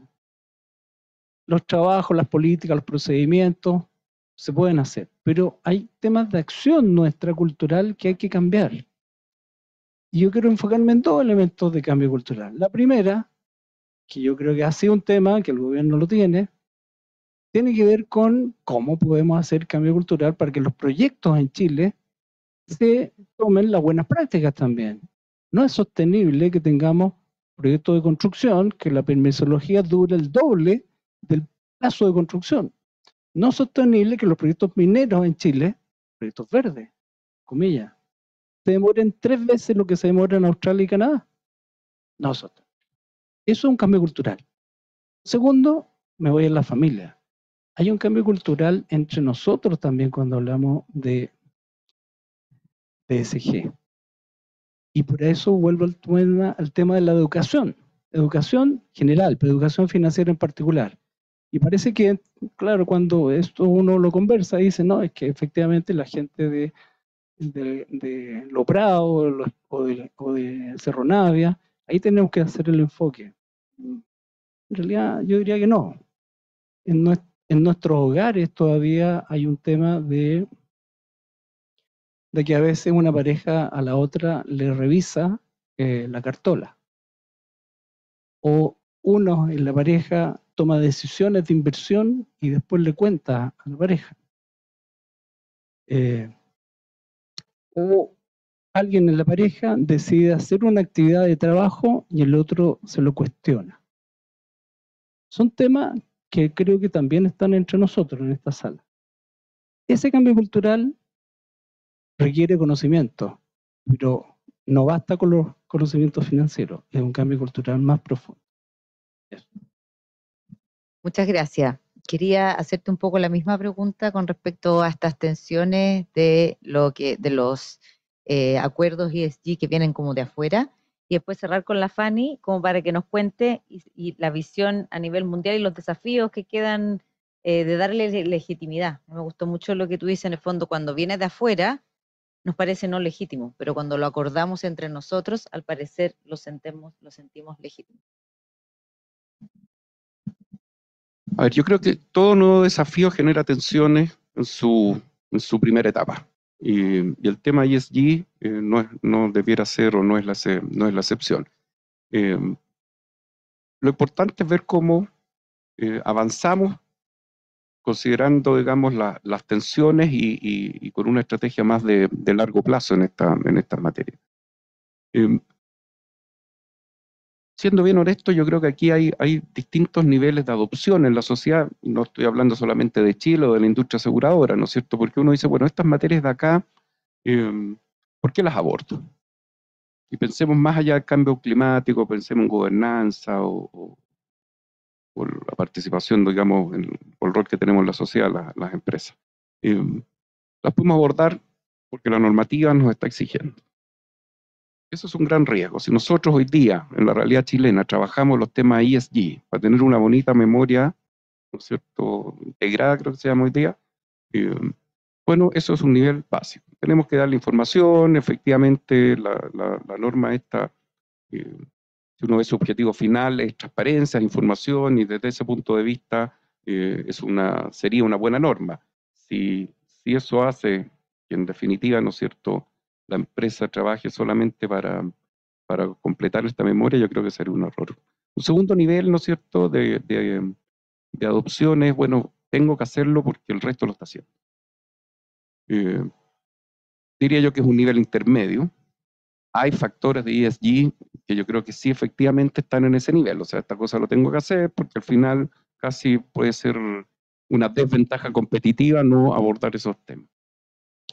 El gran desafío es llegar al tercer nivel, en hacer esto con convicción, porque creemos que es mejor para nuestra empresa, porque es mejor para el mundo, ¿no es cierto? Porque la supervivencia, ¿no es cierto?, tiene que ver con una empresa que sea resiliente en el largo plazo y por lo tanto hay que abordar los desafíos de ESG en su eh, totalidad. Para nosotros el, tema del cambio climático eh, es inherente a nuestro, a nuestro quehacer de negocio, como lo, expliqué hace, hace un momento atrás. Así que no, yo creo que en ese, en ese sentido estamos absolutamente en el nivel 3. Pero hay otros niveles que, que efectivamente no lo es así. Y yo creo que, que la colaboración público-privado, el ejemplo del, del, del, Acuerdo Verde yo creo que es un buen ejemplo. Llegamos, ¿no es cierto?, a acuerdos de todas las industrias, ¿no es cierto?, y a compromisos que ha generado al menos en la Asociación de Aseguradores un, impulso importante para empezar a abordar estas materias. Em, en este periodo, y estamos hablando también de un periodo complejo, producto de la pandemia, en que los indicadores de esta materia a nivel mundial, ¿no es cierto?, se ralentizaron y muchos de ellos incluso em, pareciera ser que, que cayeron, y me, refiero a los ODS y toda esa, la, medición de esa naturaleza. Em, en el caso de la, de la, de la industria aseguradora, ¿no es cierto?, formamos, por ejemplo, cuatro mesas temáticas para abordar distintos temas que tienen que ver con eso, temas, ¿no es cierto?, internos, societarios, temas que tienen que ver con, con el entorno, temas que tienen que ver propiamente tal con, con, la operación, de cómo la operación de las compañías tiene, ¿no es cierto?, que tener eh, una, una, visión o un, un, ámbito distinto. Eh, sacamos ya recomendaciones. Lo que hicimos fue como nosotros hicimos eh, o suscribimos siete o adherimos a siete mm, acuerdos, ¿no es cierto?, en este entorno. Bueno, ya fuimos capaces de sacar eh, un documento que de alguna manera intenta dar las primeras eh, pautas, digamos, de operación para que las compañías empiecen a nivel de recomendación a, a estar con eso forma tal de que yo, yo, yo creo que hay, hay un montón de cosas que, que, se están haciendo, pero que, que, hay que dar un impulso, que hay que entender que van a haber tensiones, que vienen cosas de afuera, que no todos son aplicables acá, que la normativa es relevante. Yo creo que la generación de contenidos, ¿no es cierto?, tienen que participar también eh, el, mundo privado de esta, de esta normativa, ¿no? Pero, pero yo, creo, yo, yo estoy optimista porque... Eh, en la identificación de las brechas que sí existen a nivel de la industria, ¿no es cierto?, que hicimos también a raíz del, del, Acuerdo Verde, ya nos ha permitido tener un horizonte claro de, de cuáles son los, eh, los temas que debemos tratar. Estamos haciendo, eh, incluyendo, ¿no es cierto?, en los programas que tenemos de gobierno corporativo, ya los temas de, de, de ESG, digamos, como un módulo, módulo especial. En fin, yo creo que, que más temprano que tarde, ¿no es cierto?, em, esta, esta conciencia se va, se va a imponer. Pero lo más importante que, em, que a mi juicio, quizás un poco sesgado por, por, por el rol de nuestra industria, esto no puede, el, el, tema ESG no puede erradicarse de forma exclusiva en los temas medioambientales. Yo creo que una empresa sustentable, sostenible y resiliente en el tiempo no solo necesita preocuparse del medio ambiente, sino que necesita preocuparse de otros temas tanto más importantes como es el rol que hoy día la sociedad nos está pidiendo. Nosotros tenemos que construir el bienestar social, ¿no es cierto? Tenemos que, contribuir con transparencia, ¿no es cierto? a crear las confianzas, a legitimar el rol de la empresa privada y eso también es parte de los desafíos y allí que creo tenemos hacia el futuro. Ahí a propósito de eso te quería comentar eh, experiencias de otros gremios, a propósito de estos tres niveles. Hay gremios como la Cámara China de la Construcción, como Sofofa, que lo que han hecho en el fondo es primero levantar lo que se está haciendo, pero para llegar al segundo nivel, reconocer a las empresas que lo están haciendo mejor, porque eso tracciona a los que lo están haciendo los otros niveles. Entonces, en el fondo, transitar hasta reconocimientos eh, es una palanca que ayuda a generar este cambio cultural y los gremios podrían hacerlo. Bueno, y por el horario, me encantaría que cerraras un poco eh, esta conversación. Eh, em, sí, un, poco volviendo a, los cuestionamientos ¿no? que, tú mencionaste. Eh, bueno, yo trabajé muchos años en, en calificadora SG. hace 20 años nadie cuestionaba mucho lo que hacíamos, porque a nadie le importaba mucho. Entonces yo creo que igual es, una muy buena señal de que se cuestione el cómo.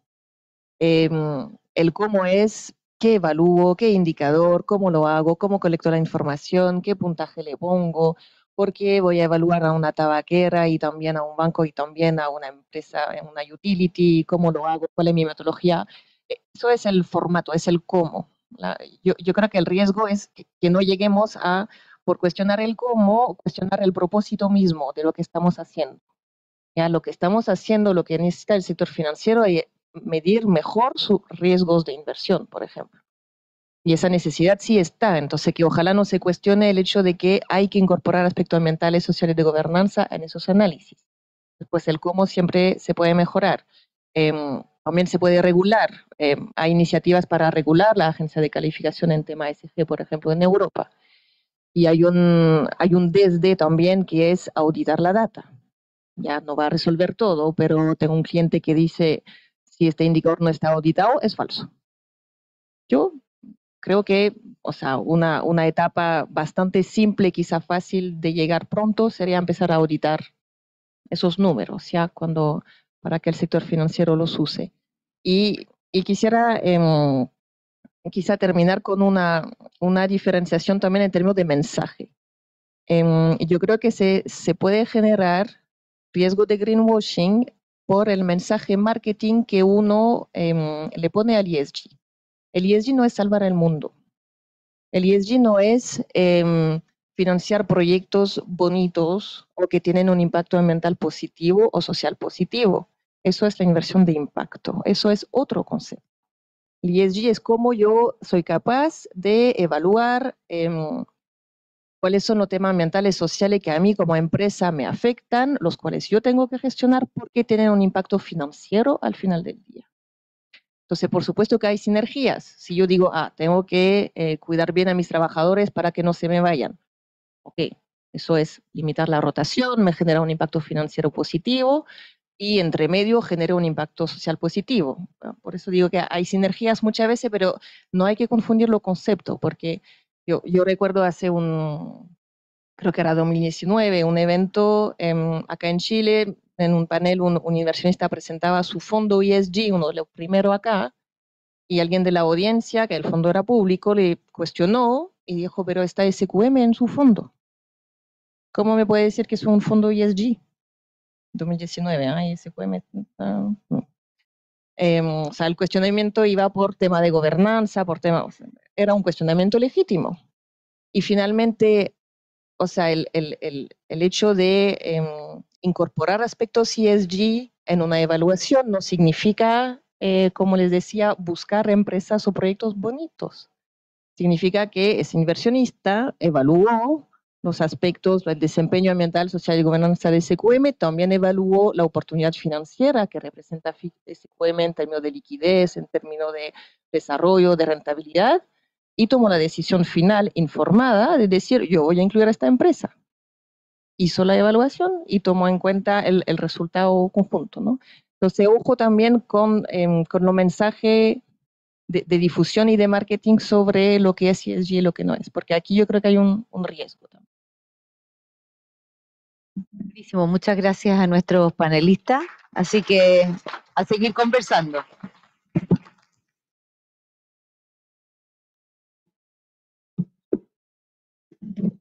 Queremos invitar a nuestro segundo panel, a Roberto Fuentes, gerente de estudios de la Asociación de FP, y a Luis Alberto Letelier, presidente de la CAFI. A Magdalena Ninat, por supuesto.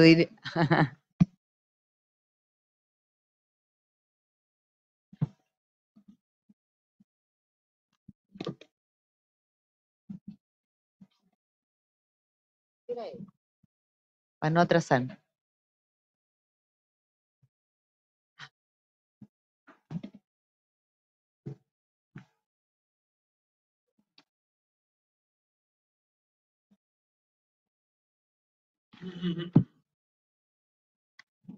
Ya, bueno, quiero partir con la, voy a juntar tres preguntas, ¿ah? y al final es, ¿cuáles son eh, las principales iniciativas eh, que está realizando cada uno de los gremios? ¿Cuáles son sus temas prioritarios? ¿Y cuáles creen ustedes que debería ser el rol del gremio eh, para impulsar estas temáticas? que puede ser desde fijar estándares, compromisos, mostrar regulaciones, buenas prácticas, medir, etcétera. Entonces, les pongo el desafío de las tres preguntas o si no las contesta después yo se las vuelvo a preguntar.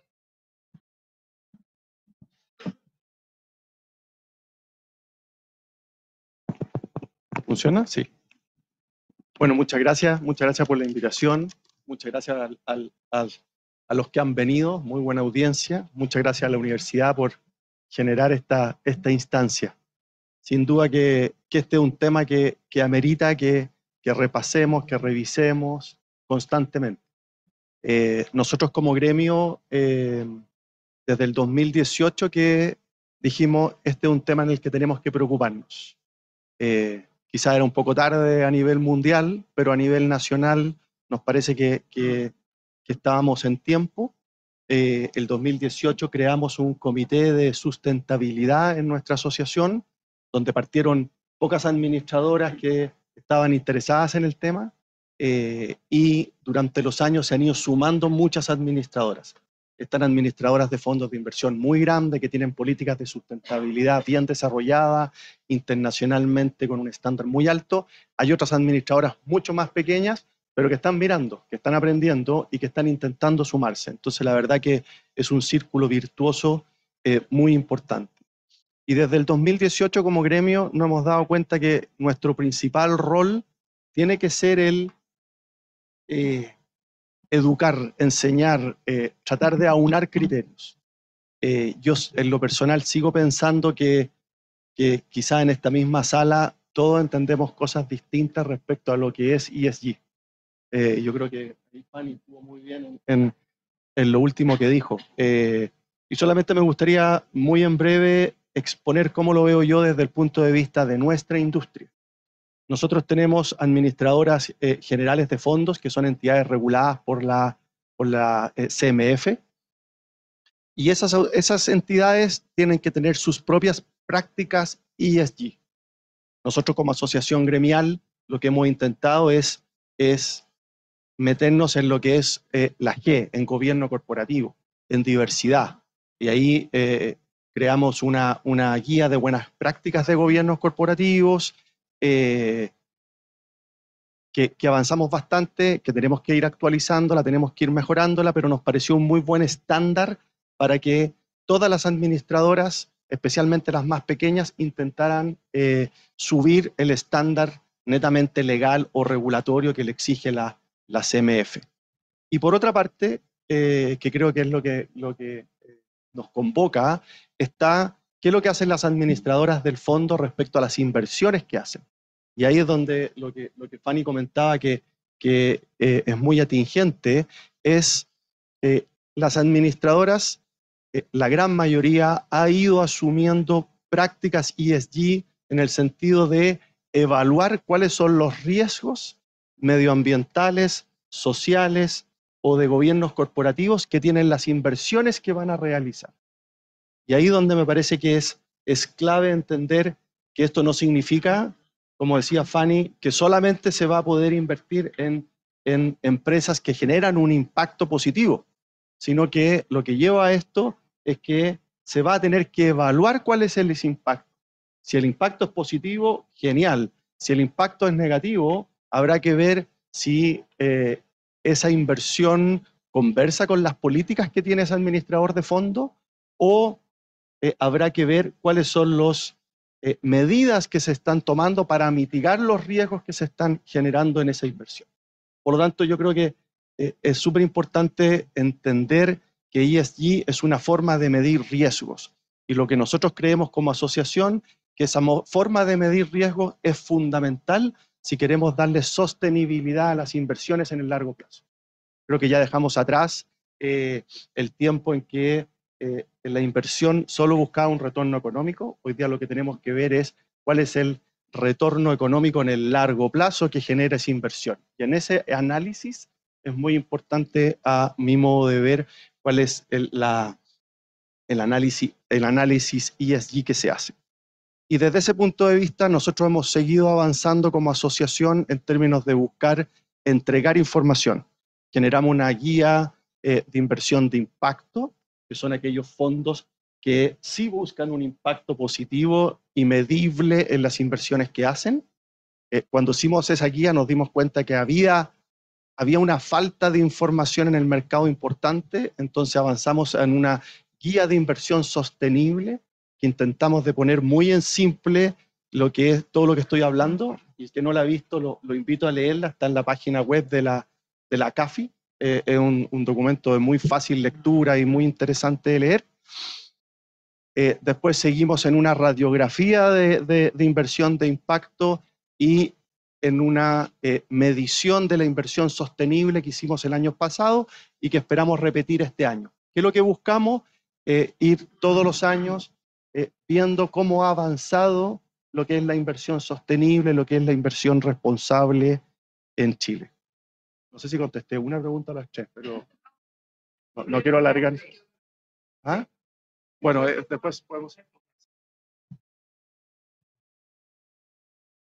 Muy buenos días. Eh, agradecer a la Universidad Adolfo Ibáñez por la invitación eh, a este importante seminario. comentarles que en la Asociación de FP, estos temas de ESG se vienen abordando aproximadamente del año 2000 15 eh, con bastante propiedad y yo diría, porque llevo bastante tiempo en la asociación de FP que ya en el, a fines del siglo pasado ya nosotros estábamos recibiendo como asociación de FP indicios de, de que, la, eh, que los gestores financieros mundiales se estaban preocupando de estos temas. ¿ya?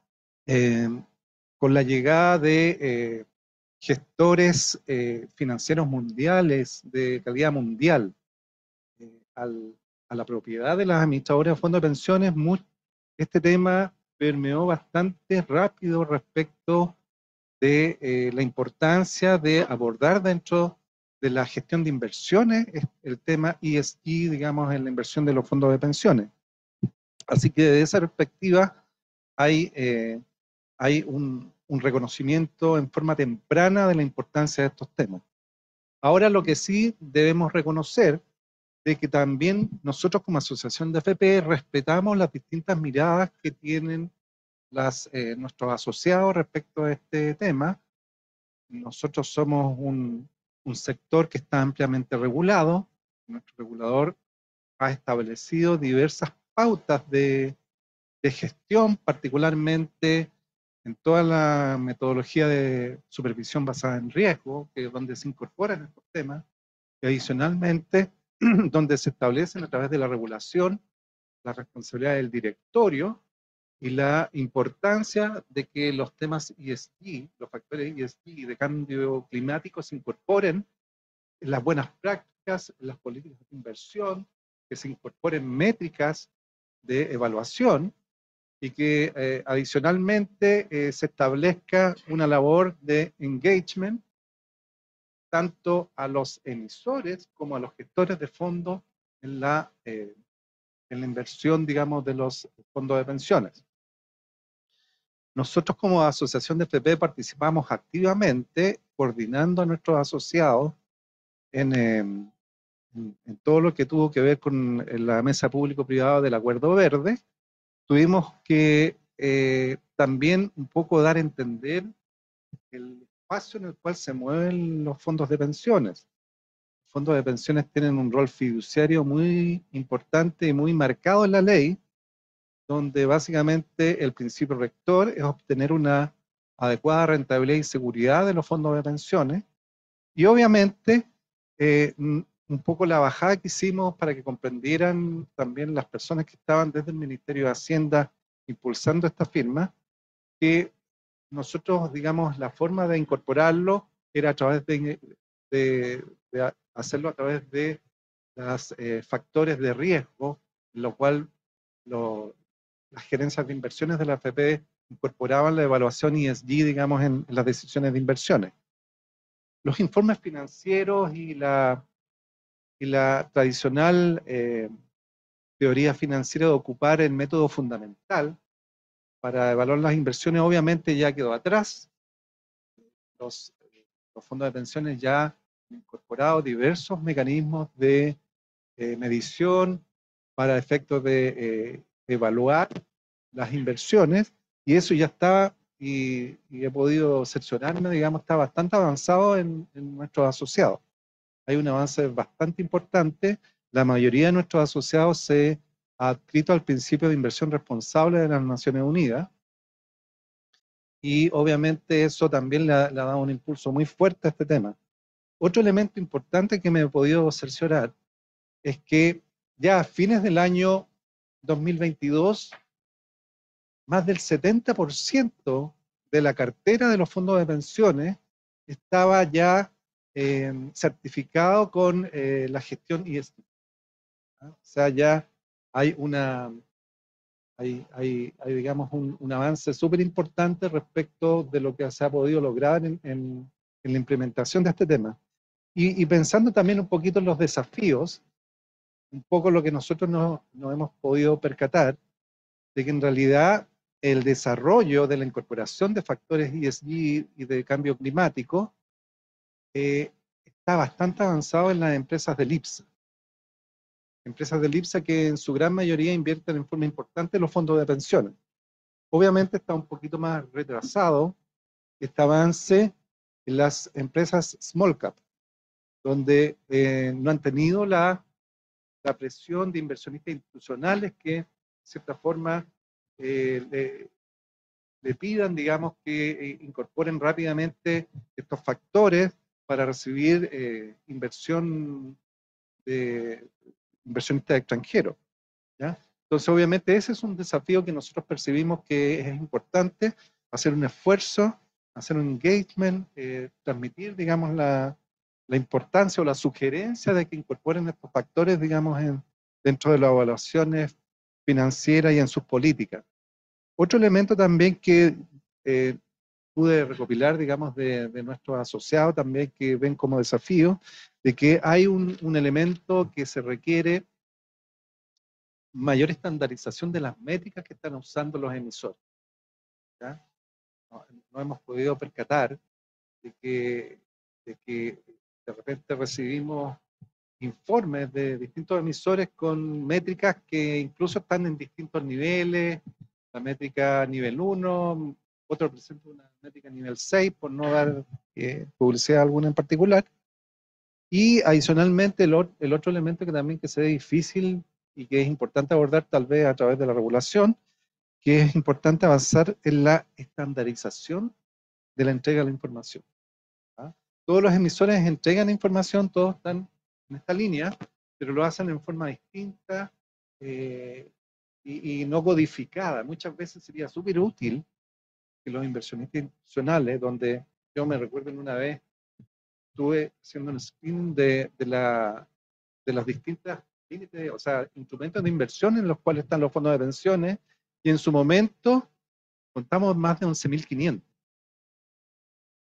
Entonces, imagínense evaluar con estas variables a 11.500 instrumentos o emisores. Entonces, obviamente eh, sería muy positivo avanzar eh, en, en, en, una estructura que permita y ojalá en que esto uno pueda esa información incluso en forma digital, para efecto que conversen temas que tienen que han implementado varias de las de nuestros asociados en sus plataformas de inversiones. Han creado plataformas, o sea, han creado plataformas de manejo de inversiones ESG eh, bien automatizadas. Entonces, ese es un desafío importante. Y creo que el, perdón, el tema que me faltaba era qué iniciativas estamos impulsando o hemos impulsado en el último tiempo. Nosotros comenzamos eh, a, apoyar directamente a nuestros asociados en todo lo que tiene, tenía que ver con los gobiernos corporativos. Funciona en la Asociación de FP un comité de directores y gerentes de inversiones, donde nosotros contratamos a empresas de hunting con experiencia de evaluación de directores y, eh, y esto lo vamos, eh, lo llevamos ya haciendo más de 10, 15 años. Entonces tenemos ahí un, trabajo permanente en esta área del, del, eh, del, del, tema ESG y junto con eso, básicamente secundado también por toda una regulación y legislación. Ustedes saben que la, la categoría de director eh, independiente tiene requisitos muy fundamentales en la ley de sociedad anónima y en el decreto de ley 3500. De hecho, se establece estar en un registro público donde se deben cumplir muchos requisitos legales y reglamentarios para participar. Entonces, eh, también, eh, dado el carácter de inversionista minoritario que tienen los fondos de pensiones, esto en cierta forma se da en forma natural que nuestros asociados recurran a la asociación de FP para hacer una coordinación y tener mayor éxito en la elección de estos eh, directores independientes que, que, tienen, van participando en la sociedad. También se ha impulsado a través de, de este comité también la, incorporación importante de la mujer en los directorios. ¿ya? Es un tema que fuimos en un inicio bastante solitario al implementar esta política, eh, si uno hace un análisis de los directorios de la empresa GIPSA, en la práctica la gran mayoría de las mujeres que estaban en su momento eran puestos por nosotros, por la AFP, como inversión institucional. Pero ya es una, un tema que ya ha permeado más en, em, en, en de los distintos directorios y ya está bastante. El año pasado, por ejemplo, el 60% de los candidatos que nosotros presentamos y fueron elegidos las empresas donde elegimos directores eran mujeres. También, bueno, participamos activamente en todo lo que tiene que ver en la firma del Acuerdo Verde, dando a conocer a representantes de Hacienda las particularidades que tienen los fondos de pensión y la alta regulación a la que se ven sometidas, y, para entender un poco en qué contexto podíamos participar y qué acuerdos podíamos tomar en, en ese aspecto. Estamos también participando en la mesa para eh, evaluar la posibilidad de un nuevo acuerdo verde que posiblemente se pueda firmar el próximo año. Y también hemos participado en actividades de capacitación, eh, sobre todo en temas climáticos, que es un tema que estaba menos desarrollado al interior de nuestros asociados. Y, em, y básicamente me parece que esos son los principales temas. Ya, buenísimo. Magdalena, a propósito de lo que cada gremio ha comentado, que están haciendo iniciativas eh, cada uno en forma eh, separada, quizás eh, el trabajo con Hacienda es conjunto, ¿cuál es el valor que crees tú que tiene impulsarlo en conjunto? Si tú has visto experiencias internacionales de trabajo conjunto del sector. Ahí. Sí, yo creo que es interesante cuando uno mira lo que ha pasado en Europa, ¿no es cierto? En Europa se firmó el Acuerdo Verde 2019 y, y en, no sé, cuatro años han regulado muchos ámbitos, ¿cierto? Han regulado, tienen una taxonomía, tienen, eh, tienen una regulación de los bonos verdes, tienen una regulación, ¿no es cierto?, que acaba de, publicarse a principio de año, que ya están revisando de todo lo que es reporte, de finanzas sostenibles. Entonces, yo lo que veo en esta conversación es que veo eh, algo que, yo creo que es muy valioso en Chile, que es, eh, a pesar de toda la discusión constitucional que tenemos, e, etcétera, pero que esta, esta mirada es, bien de largo plazo, ¿no es cierto? Y ha continuado eh, entre, entre gobiernos este acuerdo de finanzas verdes. Nosotros, y, y recuerdo una presentación del ministro Marcel en ENADE, eh, a principios de este año que decía, mira, la oportunidad que tiene el país de crecer está en agregarle el crecimiento en el ámbito verde. Entonces, si tenemos esa conciencia y tenemos la oportunidad de sentarnos junto a la mesa, yo miro un poco el periodo que, se, que, mostraba la foto la María Pal, eh, eh, al principio, decíamos, ha pasado, me parece, demasiado tiempo, ¿ah? demasiado, vamos un poco lento porque esta etapa de awareness, que, le, que este concepto es difícil de traducir, de, estar consciente de que ya la regulación, tú decías, o la forma de entender en las inversiones es diferente, ya esto es parte de los riesgos que se maneja, Chile con la exposición que tenemos a los cambios climáticos es imposible no estar pensando que vamos a hacer un, va a dar un crédito, vamos a invertir en una empresa, no vamos a mirar sus, prácticas ambientales, sociales, eh, y, tomarlo como parte de la decisión. O sea, no es solo algo que queremos empujar, y, al mismo tiempo yo creo que no es solo riesgo, sino que sobre todo en Chile es capturar oportunidades. Em, y obviamente mirar esas oportunidades, las oportunidades siempre vienen eh, con riesgos de, posibilidad. Entonces, cuando miramos, miramos Europa, eh, un poquito más quizás ordenado y articulado que Estados Unidos, que que tiene problemas también de, gobernabilidad. Eh, yo creo que la, la celeridad con que se está avanzando, entendiendo que no está todo resuelto. ¿ah? Es interesante si, si alguien ha seguido un poco la discusión de, la, de, de toda esta ley de, de, disclosure de finanzas sostenibles. Bueno, se publica, los artículos 8 y 9 dicen necesitamos que den más información respecto a estos fondos sostenibles, pero no les vamos a decir qué significa un fondo sostenible. ¿ah? Y que ustedes pregunten a, a sus clientes cómo ellos quieren incorporar eso. Nosotros los estudios que hay, en Chile hemos hablado eh, eh, desde el centro con varias bancas, con el mundo de la banca sobre todo que está tratando de impulsar y muchos de ellos tienen productos sostenibles, dicen, bueno, la gente los declara y después no los compra, son más caros ¿ah? eh, porque necesitan más análisis, eh, y quizás nosotros estamos pensando que, que, el mercado lo pida, el mercado del cliente lo pida y después vamos nosotros. ¿ah?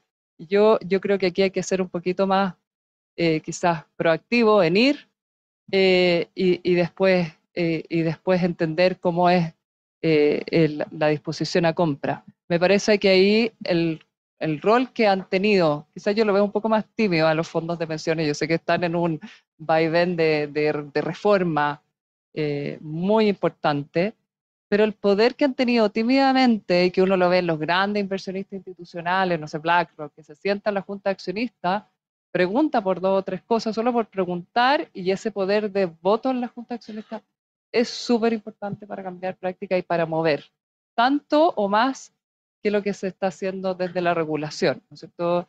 La norma 461, este año entraron 40 empresas, o sea, 70 empresas, pero ya todo, eh, eh, todo un poco el mercado ha entendido que tiene que reportar o que es cuál, eh, poner las preguntas ha sido súper significativo. Entonces, ¿queremos una regulación perfecta? ¿Queremos entenderlo todo? ¿O queremos avanzar? Y yo creo que quizás lo que tenemos que pensar es que no son estas reformas o estas leyes definitivas, eh, sino que estamos haciendo camino al andar. poco, eso es lo que yo veo del modelo europeo, que es, acá hay una decisión, tenemos este gran propósito, nosotros Chile también tenemos este gran propósito, ¿no es cierto? Ser un país eh, eh, neutral a nivel de emisiones, tenemos grandes aspiraciones de más equidad, y, y mí me parece que, que por no atrevernos a una regulación perfecta no estamos regulando eh, y no estamos empujando un poco los propios eh, gremios, quizás en guías, buenas prácticas, pero mostrarlo más. Eh, hay un, lo debes conocer, Roberto, el, el, este Global Pension Transparency Benchmark, ¿no es cierto? Y uno mira Chile, estos agregados, los fondos de pensiones, estamos súper bajos en términos de, de, de transparencia. Y no solo los fondos de pensiones, eh, la banca, eh, todos los sectores que en reportar, y uno mira, bueno, los países que de fondos de pensiones, tienen otros sistemas de pensión y todo, pero Suecia, Canadá, em, los países nórdicos en general, hacen una transparencia respecto de esto que es mucho más profunda, ¿ah? de qué, de cuáles son realmente sus políticas de inversión. Uno mira aquí, el que quiera, nosotros nos dedicamos a, un poco a los análisis del estudio, mira unas políticas que, cualquiera podría hacer, y esto es lo que consideramos, muy genérica. ¿ah? Uno mira los fondos afuera, son súper específicos, qué tomamos, qué no tomamos. Los fondos suecos hacen una lista de empresas a las cuales excluyen y trabajan mucho con el engagement. Me gustó mucho lo que tú dijiste en las small caps. Ahí tenemos un problema. ¿Qué vamos a hacer? ¿No vamos a invertir o vamos a trabajar con las empresas en avanzar en esto? Entonces, quizá yo creo que estamos como bien en el awareness, nos falta eh, regulaciones estamos avanzando en distintos ámbitos. Yo creo que nos falta más decisión y la decisión obviamente que no solo de los gremios, eh, sino que aprovechar, hay una mesa ¿ah? y eso es un gran valor. Yo creo que aprovechar esa mesa, impulsarla y, un poco acelerar, a decir esto, esto es suficiente para empezar y, con esa idea de que vamos a seguir continuamente mejorando, porque aquí se están creando estándares, creando reportes, yo creo que es, interesante. Buenísimo. Luis Alberto, yo creo que te quedaron algunos temas ahí a comentar en la primera parte. Y, la pregunta que con que quisiéramos cerrar es, ¿cuáles creen tú que son los desafíos futuros? La Magdalena planteó varios, pero en el fondo, ¿cuál es el siguiente paso? Estamos en buenas prácticas, en guía, que es awareness. Eh, ¿Cuál seguiría el siguiente paso? Primero que nos cuentes qué te falta. Eh, sí, antes de eso, yo no estoy tan seguro que nos falte regulación em, en lo que es eh, aplicar prácticas ESG. Yo creo que en general prácticamente todos los fondos de, pensiones tienen prácticas ESG.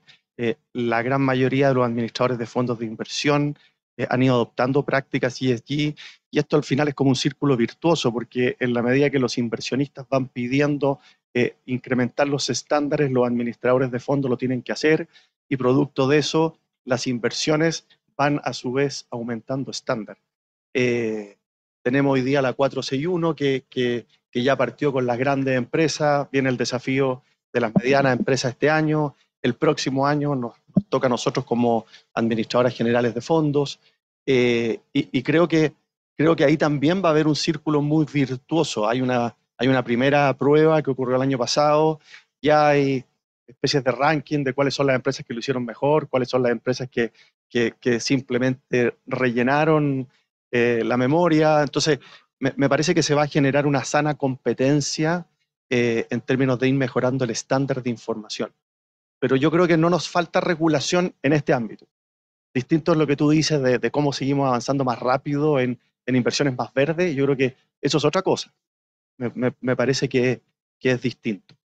Eh, y, para completar un poco lo que dije al principio, nosotros como asociación lo que buscamos es intentar entregar información clara a nuestros asociados respecto a eh, cuáles son las prácticas, cuáles son las opciones que tienen y promovemos en que haya inversión responsable, inversión sostenible.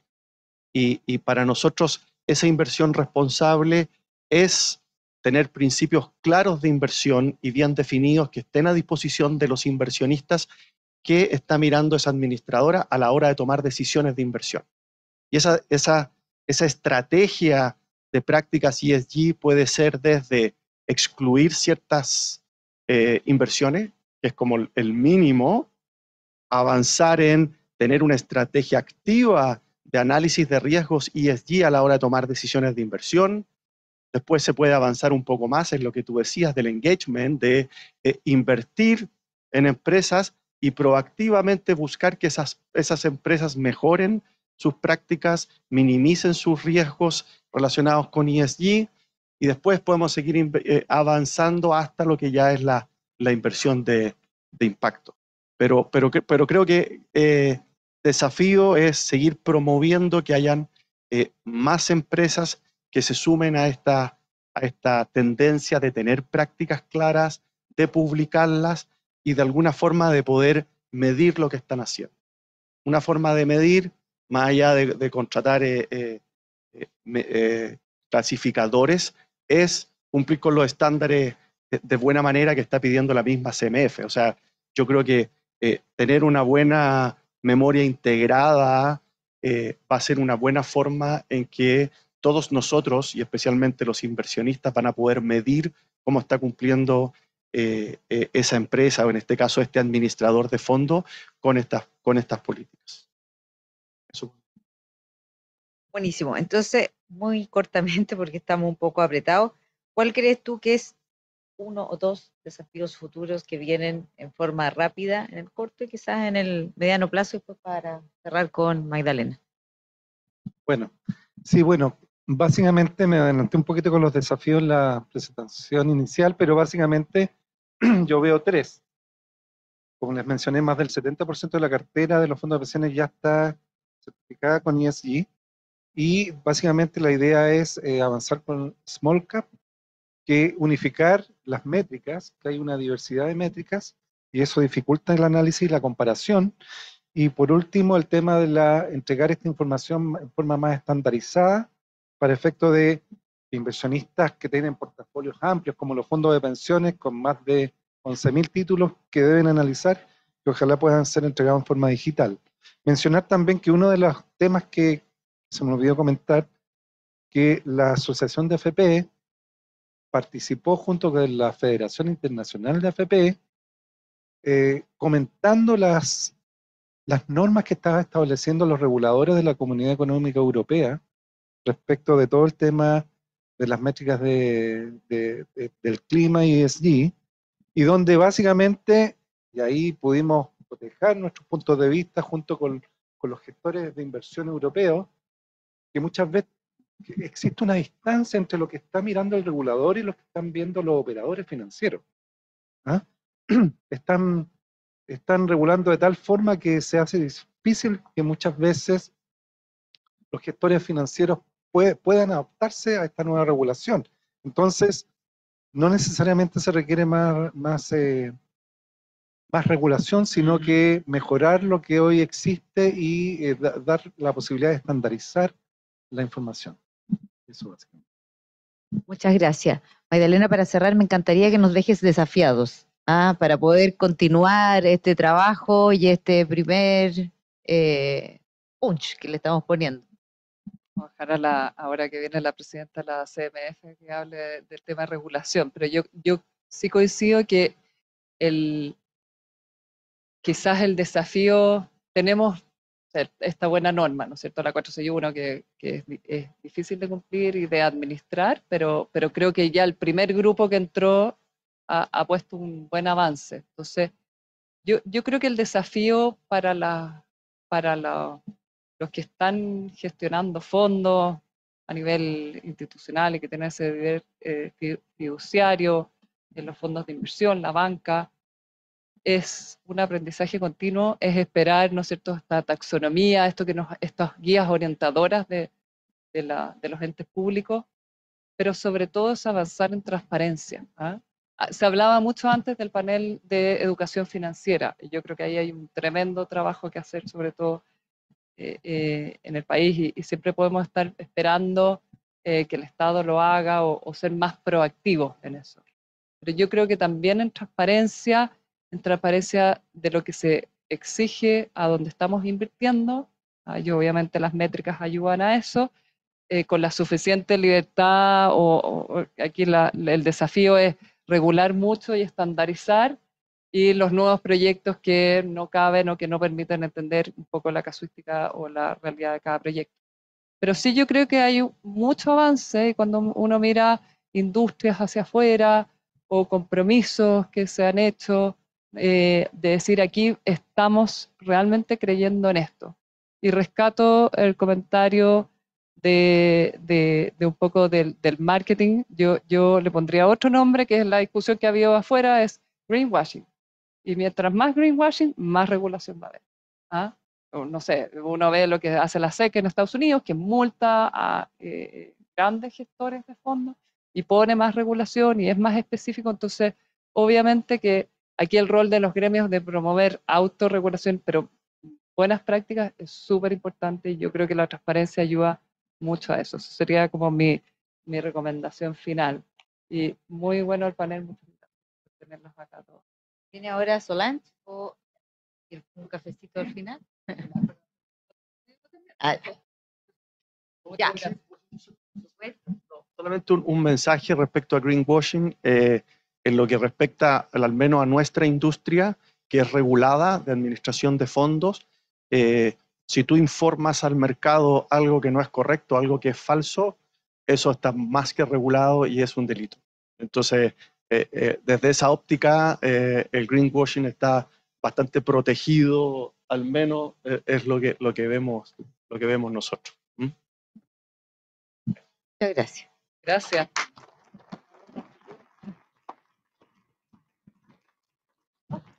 Perdón, no te vi. Bien, vamos a seguir para cerrar. Vamos a tener a la, hablamos harto de regulación, así que muy bienvenida Solange Bernstein, presidenta de la, de la Comisión de Mercados Financieros. Va a hacer una presentación.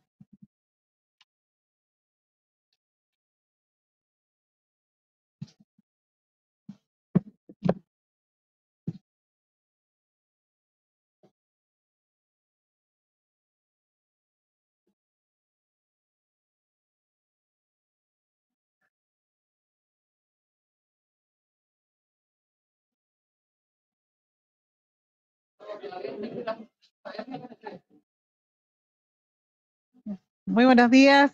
Eh, muchas gracias eh, por la invitación a participar de este evento eh, en el cual estamos conversando sobre temas que hoy día, lo decía en la mañana, tenemos dos temas que son trending topics a nivel global y en Chile para nosotros como reguladores, los temas de sostenibilidad y fintech. Así que hoy día tuve una, un combo, ¿ah? porque hablé de fintech en la mañana, ahora sosten- sostenibilidad un poco más tarde. Eh, y por buenas razones, ¿no? Y por buenas razones porque son temas que hoy día nos preocupan.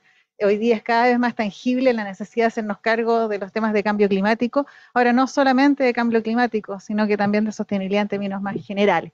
Así que de eso es un poco lo que les voy a conversar desde mi lado, desde el lado de la regulación, que según escuché ha sido tema recurrente durante eh, la mañana, porque son estas cosas donde efectivamente la regulación tiene un espacio que, que cumplir, tiene un rol, ¿ah? y tiene un rol por, también las mismas razones por las que estamos hablando acá, buenas razones. Eh, y en ese sentido, la CMF en su rol es un rol bien amplio, es un amplio respecto, es amplio respecto de nuestro perímetro, del tipo de instituciones, el número de instituciones que están bajo nuestra eh, regulación y supervisión, pero también amplio respecto del mandato y, siempre tiendo a partir las presentaciones eh, de esta forma, porque es importante recordar que cada vez que nosotros hablamos, hablamos, habla- hablamos desde estos tres pilares, hablamos balanceando de alguna manera nuestro triple mandato.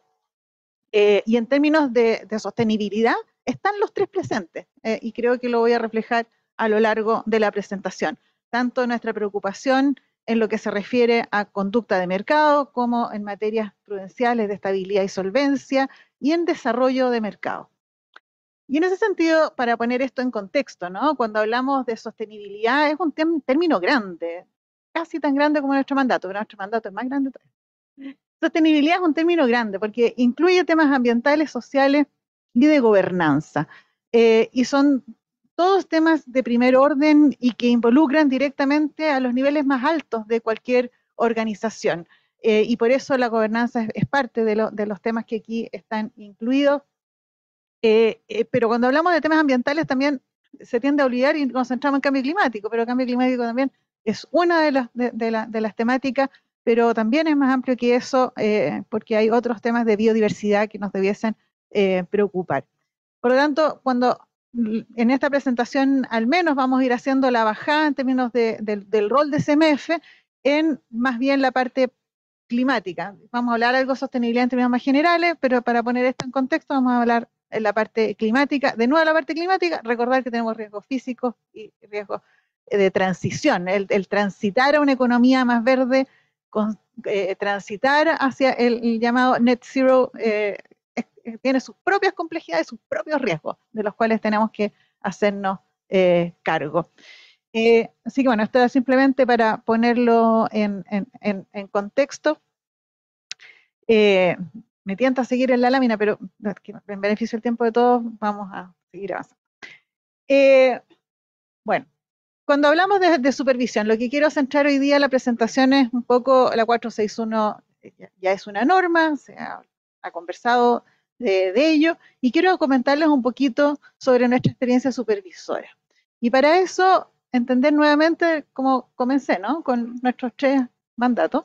Eh, y en ese sentido, cuando hablamos de, sostenibilidad y en particular del cambio climático, eh, esto está presente en nuestros tres pilares, tanto en el pilar de estabilidad financiera y por eso en nuestra estrategia de cambio climático se incorpora como uno de los elementos centrales en esa estrategia la incorporación de los riesgos climáticos la gestión de riesgos de instituciones tan importantes como las compañías de seguro, aquí representadas, o los bancos y otras instituciones financieras en general. Entonces, estamos trabajando en cómo avanzar, por ejemplo, en pruebas de tensión o en cómo incorporar mejor eh, la medición y gestión de esos riesgos por parte de las distintas instituciones financieras. Por lo tanto, la gestión eh, de esos riesgos eh, es, un tema clave e importante en nuestra supervisión y está presente entonces en términos de la autoevaluación que hagan las mismas instituciones, pero también presente en la, supervisión que nosotros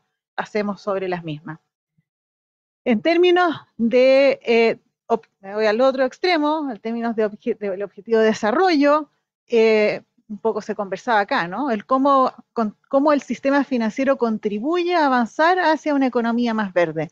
Eh, y en eso también tenemos un rol, teniendo una, eh, un ecosistema que permita el desarrollo de instrumentos verdes, para que entonces se canalice la inversión hacia aquellos objetivos eh, o empresas con impacto. Entonces, ¿cómo logramos que ese mercado se desarrolle? Que ese mercado, si los inversionistas tienen el apetito por invertir en instrumentos sostenibles, bueno, ¿cómo hay un sistema que permita el desarrollo de esos instrumentos para canalizar ese deseo? Se junte la demanda con la oferta, ¿no? tengo una demanda, bueno, ¿dónde están los instrumentos con los puedo invertir?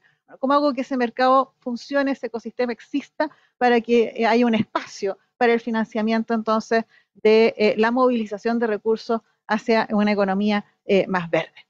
Y ahora me voy al centro. ¿Por qué me voy al centro? Porque es básicamente de lo que vamos a conversar en algo mayor extensión, que es la norma 461, eh, justamente que refleja nuestra preocupación o nuestro pilar de conducta de mercado. Ese pilar de conducta de mercado tiene dos elementos centrales. Uno es la protección del, cliente, el trato justo hacia el cliente financiero y por otro lado los temas de integridad y transparencia. Y justamente en integridad y transparencia es donde podríamos ubicarnos la norma 461, que es una norma de divulgación de información a través de memorias integradas como un ejercicio anual de las compañías junto con su estado financiero. Eh, en ese sentido, como CMF, este es un mandato que ya teníamos, eh, y, y de hecho la 461 es un reflejo de nuestro mandato permanente de transparencia y divulgación de información por parte de las compañías para justamente el que el mercado opere de buena, de buena forma y evitar temas como el greenwashing que se comentaba aquí hace unos minutos atrás. Bueno, para eso necesito información y información de, de calidad. Hemos estado entonces permanentemente preocupados respecto de estas temáticas, no solamente en lo que se refiere a sostenibilidad, sino que en términos más amplios y por lo tanto en nuestro ejercicio de supervisión a los emisores de valores, este es un elemento más a considerar, la información de sostenibilidad. Ya nos preocupaba y siempre nos ha preocupado la información financiera, la información de sostenibilidad hace varios años que está incorporada a través de normas previas a la 461, en las cuales ya vienen exigencias de divulgación de, información de sostenibilidad y ahora hay un paso adicional que se da con eh, esta eh, nueva normativa. Eh, entonces, en términos de eficiencia, integridad, son temas importantes. En la implementación de la norma 461, hemos enfrentado sin duda tremendos desafíos nosotros como reguladores supervisores y, los fiscalizados, ¿no? las empresas que estaban sujetas a tener que reportar bajo estos nuevos estándares. Además, nosotros recordar que adoptamos de manera bien temprana los estándares eh, SASPI para cambio climático, para el reporte de cambio climático. Eh, nuestra norma 461, recordar que recoge varios estándares internacionales, entre ellos eh, algunos elementos de, de, GRI, del Global Report, algunos elementos también de TCFT, en términos de la importancia que tiene los temas de gobernanza, estrategia, gestión de riesgo y medición de esos riesgos, porque lo que no se mide, no se gestiona, y para gestionar necesita una estrategia, y una estrategia que sea adecuada y que se pueda implementar requiere una eh, apropiada gobernanza. Por lo tanto, esos elementos de TCFD han estado presentes en nuestra norma y fueron recogidos también por el ISSP, el International Sustainability Standard Board, en los estándares que se publicó hace bien poquito, que se están validando también por IOSCO y están adoptando distintos países. Porque uno de los grandes problemas que teníamos a nivel global es que teníamos una gran variedad de estándares y no, se, había, no había una directriz muy clara, porque en esto es re importante la estandarización, porque si no tengo estandarización a nivel global, para los inversionistas es bien difícil el poder comparar o comprender la información que es divulgada de buena fe y con la mejor de las voluntades por parte de las empresas, pero si cada uno divulga como se le ocurre, entonces hace una tarea imposible a los eh, inversionistas. En ese sentido, la estandarización y el avance hacia tener un estándar global, que es lo que propone la ISSP, eh, creemos que es un paso bien, bien eh, favorable a que se pueda seguir construyendo a partir de ahí. En ese sentido, nosotros adoptamos los estándares SASB y este marco TSIST en nuestra norma 461 antes de que salieran los estándares del ISSB. Entonces, avanzamos eh, y avanzamos en la dirección correcta. Ahora estamos identificando las brechas que tenemos entre lo que finalmente publicó el ISSB y nuestra norma 461 para ir cerrando aquellas brechas que quedan. Pero sin duda tenemos camino recorrido eh, que nos permite hacer eso en una posición bastante más cómoda que eventualmente eh, otras jurisdicciones que no tenían eh, eh, el requerimiento de divulgar bajo este mismo eh, estándar. Entonces, esto ha sido una tarea compleja porque no había tanta experiencia internacional. De hecho, es más, ¿ah? porque como el ISSP estaba haciendo su proceso de consulta al mismo tiempo que nosotros ya estábamos implementando los estándares ASPI, fue bien útil para, nosotros en particular, porque nos podíamos nutrir un poco del proceso de comentarios que la ISSP estaba llevando a cabo y tuvimos varios diálogos con ellos, eh, porque nosotros implementábamos y al mismo tiempo ellos estaban en ronda de comentarios de los estándares que finalmente salieron. Entonces, eh, fue un beneficio eh, mutuo, creo que más para nosotros que para ellos, pero nos beneficiamos también justamente de ese proceso de consulta pública del estándar ISSP. Pero bueno, por lo mismo decía desafío, desafío y ha sido desafiante para las empresas que ya reportaron, tenemos 70 empresas que estaban obligadas a reportar y reportaron, eh, y en particular ha sido desafiante el tema de los estándares SASPI, porque son indicadores que había que darle una bajada, sacamos una guía de implementación eh, para la 461, eh, justamente para tener información de buena calidad, porque aquí no es como reportar por reportar, sino que se requiere información de buena, de buena calidad y nuestra intención eh, no es salir a multar al que reporta mal, sino que el, que el reporte esté bueno. Entonces, ese es, el, objetivo, ¿no? Eh, hay eh, varios sectores que fueron reportando y vamos a seguir avanzando en identificar las brechas que ahí puedan haber. En términos del proceso, esto como, como las normas SASFI son por sector, entonces lo primero que tiene que hacer una compañía es identificar al sector al cual pertenece, esta cosa como que suena trivial.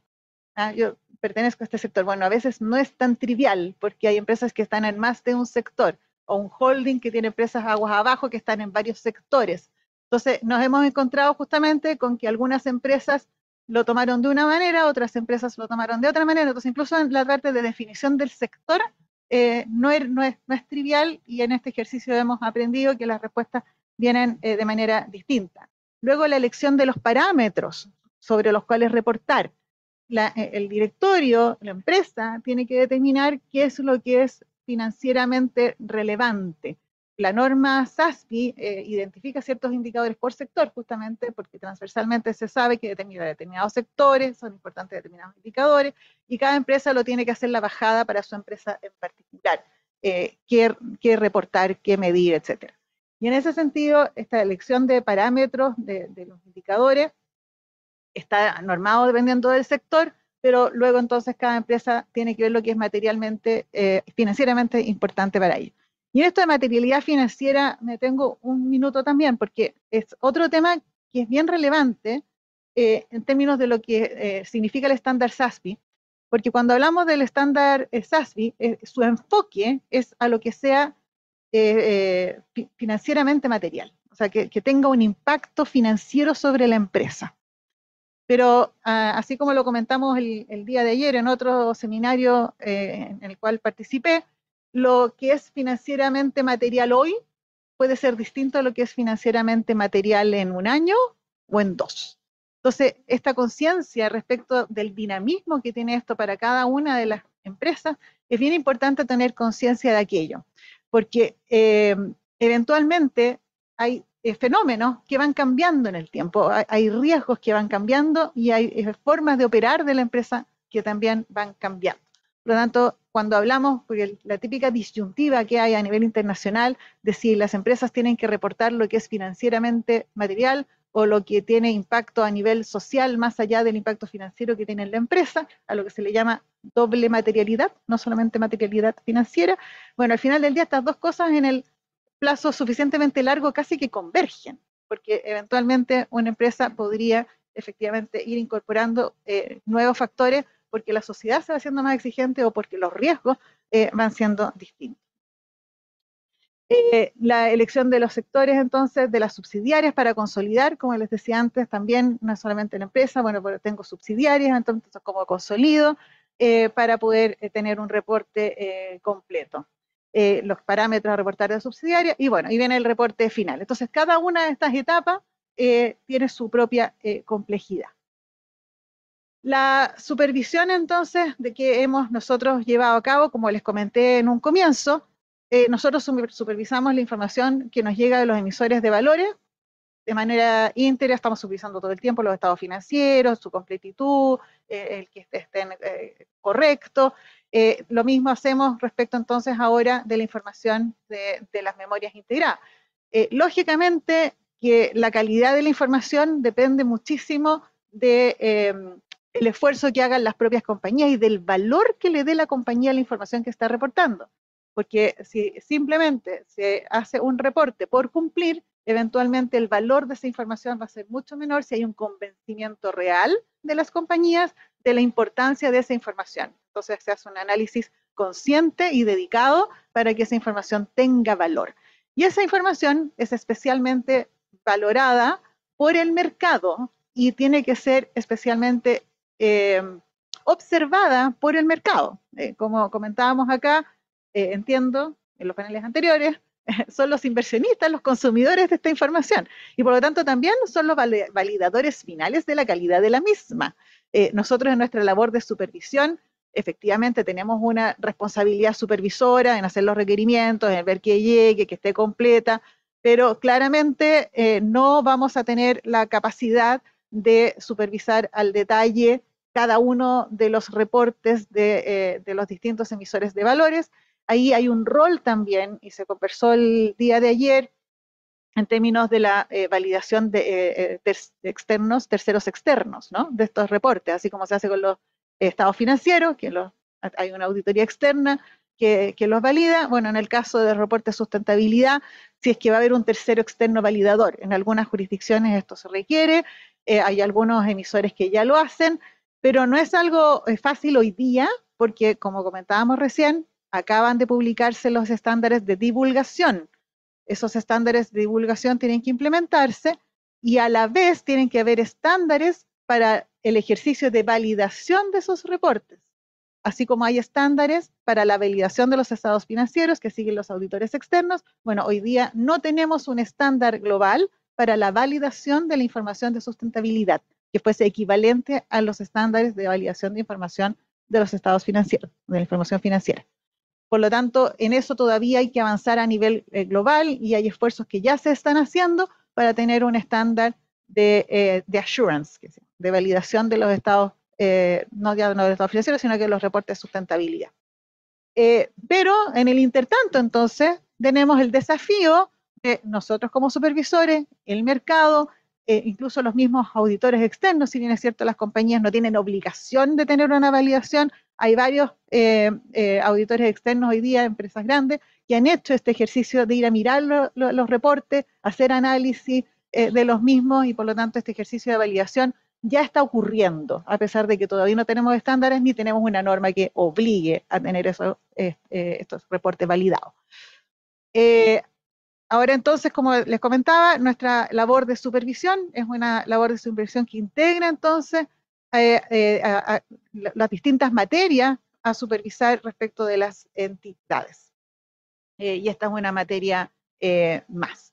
El otro punto relevante es que para nosotros, así como para ustedes, no para ustedes, porque no son todos inversionistas, pero para los inversionistas, a los que hay en esta pieza, esta información tiene valor para su propio ejercicio, tiene valor para los bancos, tiene valor para las compañías, porque pueden gestionar sus propios riesgos, porque tienen mejor información, y tiene valor para nosotros en nuestro rol prudencial, porque hoy día cuando tenemos que monitorear el riesgo al cual están expuestos nuestros fiscalizados, tenemos eh, métricas que nos permiten eventualmente tener una mejor idea de cuáles son esos riesgos. Por lo tanto, este, la información tiene muchísimas aristas positivas desde la supervisión, desde la gestión de riesgo de las instituciones financieras, desde los inversionistas cuando quieren eh, elegir eh, algún canal a través del cual invertir en, eh, instrumentos sostenibles, desde la academia.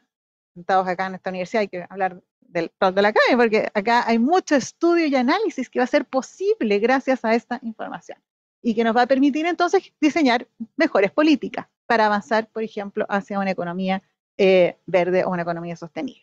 Por lo tanto, es información de gran valor eh, y en la medida en que más personas la usen, vamos a estar validando mejor su calidad, porque las cosas se sabe si son buenas o no una vez que uno las prueba, ¿no? O sea, el auto estacionado no sé si va a funcionar o no va a funcionar. Una vez que lo que, empiezo a andar, me doy cuenta de que en realidad, sobre todo si he usado, realmente falla. Eh, la vigencia de la norma. Esta fue una norma que entró en vigencia de manera gradual, ¿no? Entonces ya tenemos, como les decía, 70 empresas que están obligadas a, reportar eh, y eh, las empresas más grandes, ¿no? Tengo más de 20 millones de UFs de activos, esas son las empresas que ya reportaron.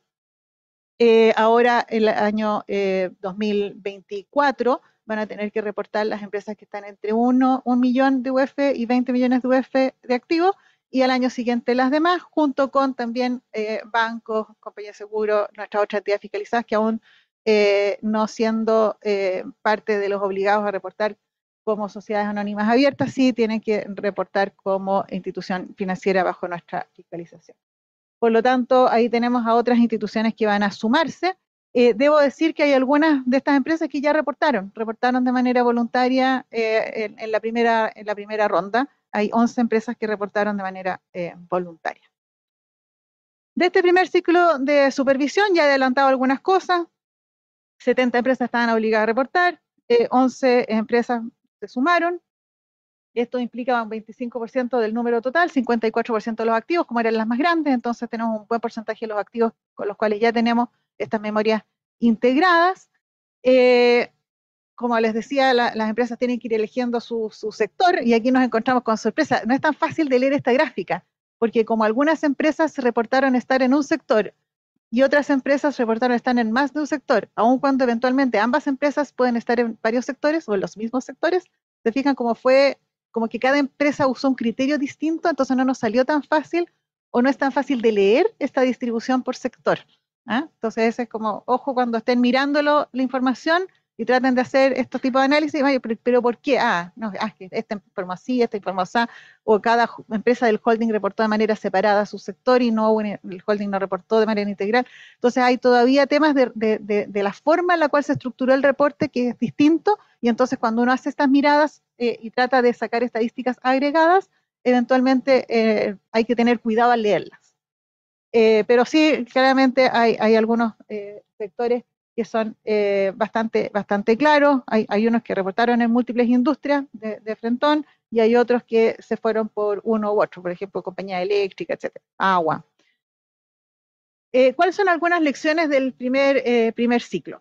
La norma 461 tiene este objetivo de, de transparencia, ¿no? De, para los emisores de oferta pública, de, valores, de tal manera de que tengamos información para el mercado y generar este círculo virtuoso, este círculo virtuoso en que hay información, esa información se utiliza, se canalizan recursos hacia eh, emisores que, eh, que, tienen, que tienen una buena calidad de información y que además tienen eventualmente un, menor impacto, eh, dependiendo de las preferencias de los inversionistas, se hace una mejor gestión de riesgo por parte de las compañías, etc. ahora se nos hizo difícil al momento de entrar a, a mirar estos reportes, evaluar de manera adecuada el cómo se estaba reportando sobre los riesgos y oportunidades, que es uno de los objetivos centrales de la norma, el cómo las empresas reportan sobre sus riesgos y oportunidades relacionados con la sostenibilidad. Eh, y, eso no, es tan fácil de... Mm, está menos estandarizado de alguna manera. Cada empresa reportó de maneras diversas y por lo tanto ahora cuando uno tiene que ir a hacer el análisis, a lo mejor no está ayudando tanto al inversionista a tomar una decisión, o a, quien tiene que gestionar riesgos, a poder evaluar esos riesgos. Entonces, la estandarización no, fue tanta como uno eventualmente podría ir imaginado. Estas cosas como uno pone la norma y después la creatividad de cada uno del cómo reporta bajo esa norma, eventualmente genera un espacio eh, de diversidad que si es que uno quiere mayor estandarización, se hace más difícil. Entonces, una de las cosas que estamos nosotros mirando y está bien, no, no necesariamente está mal, pero es, es, la realidad, digamos, con la que nos hemos ido encontrando. Eh, también fue particularmente es difícil la parte como de gestión de riesgos financieros, e, ese, tipo de cosas, bueno, cómo se están gestionando esos riesgos financieros, eh, cómo se están identificando, en particular sobre los temas de, de, clima. Entonces, ahí todavía eh, son las primeras miradas que tenemos a las memorias, pero lo que hemos estado encontrando es que cuando sobre todo cuando son 800 páginas o 600. Eh, entonces se hace difícil eventualmente encontrar la información de real eh, valor eh, para justamente poder entender mejor cuáles son los riesgos a los cuales está expuesto o cómo se están gestionando esos riesgos por parte de la, de la empresa. Em,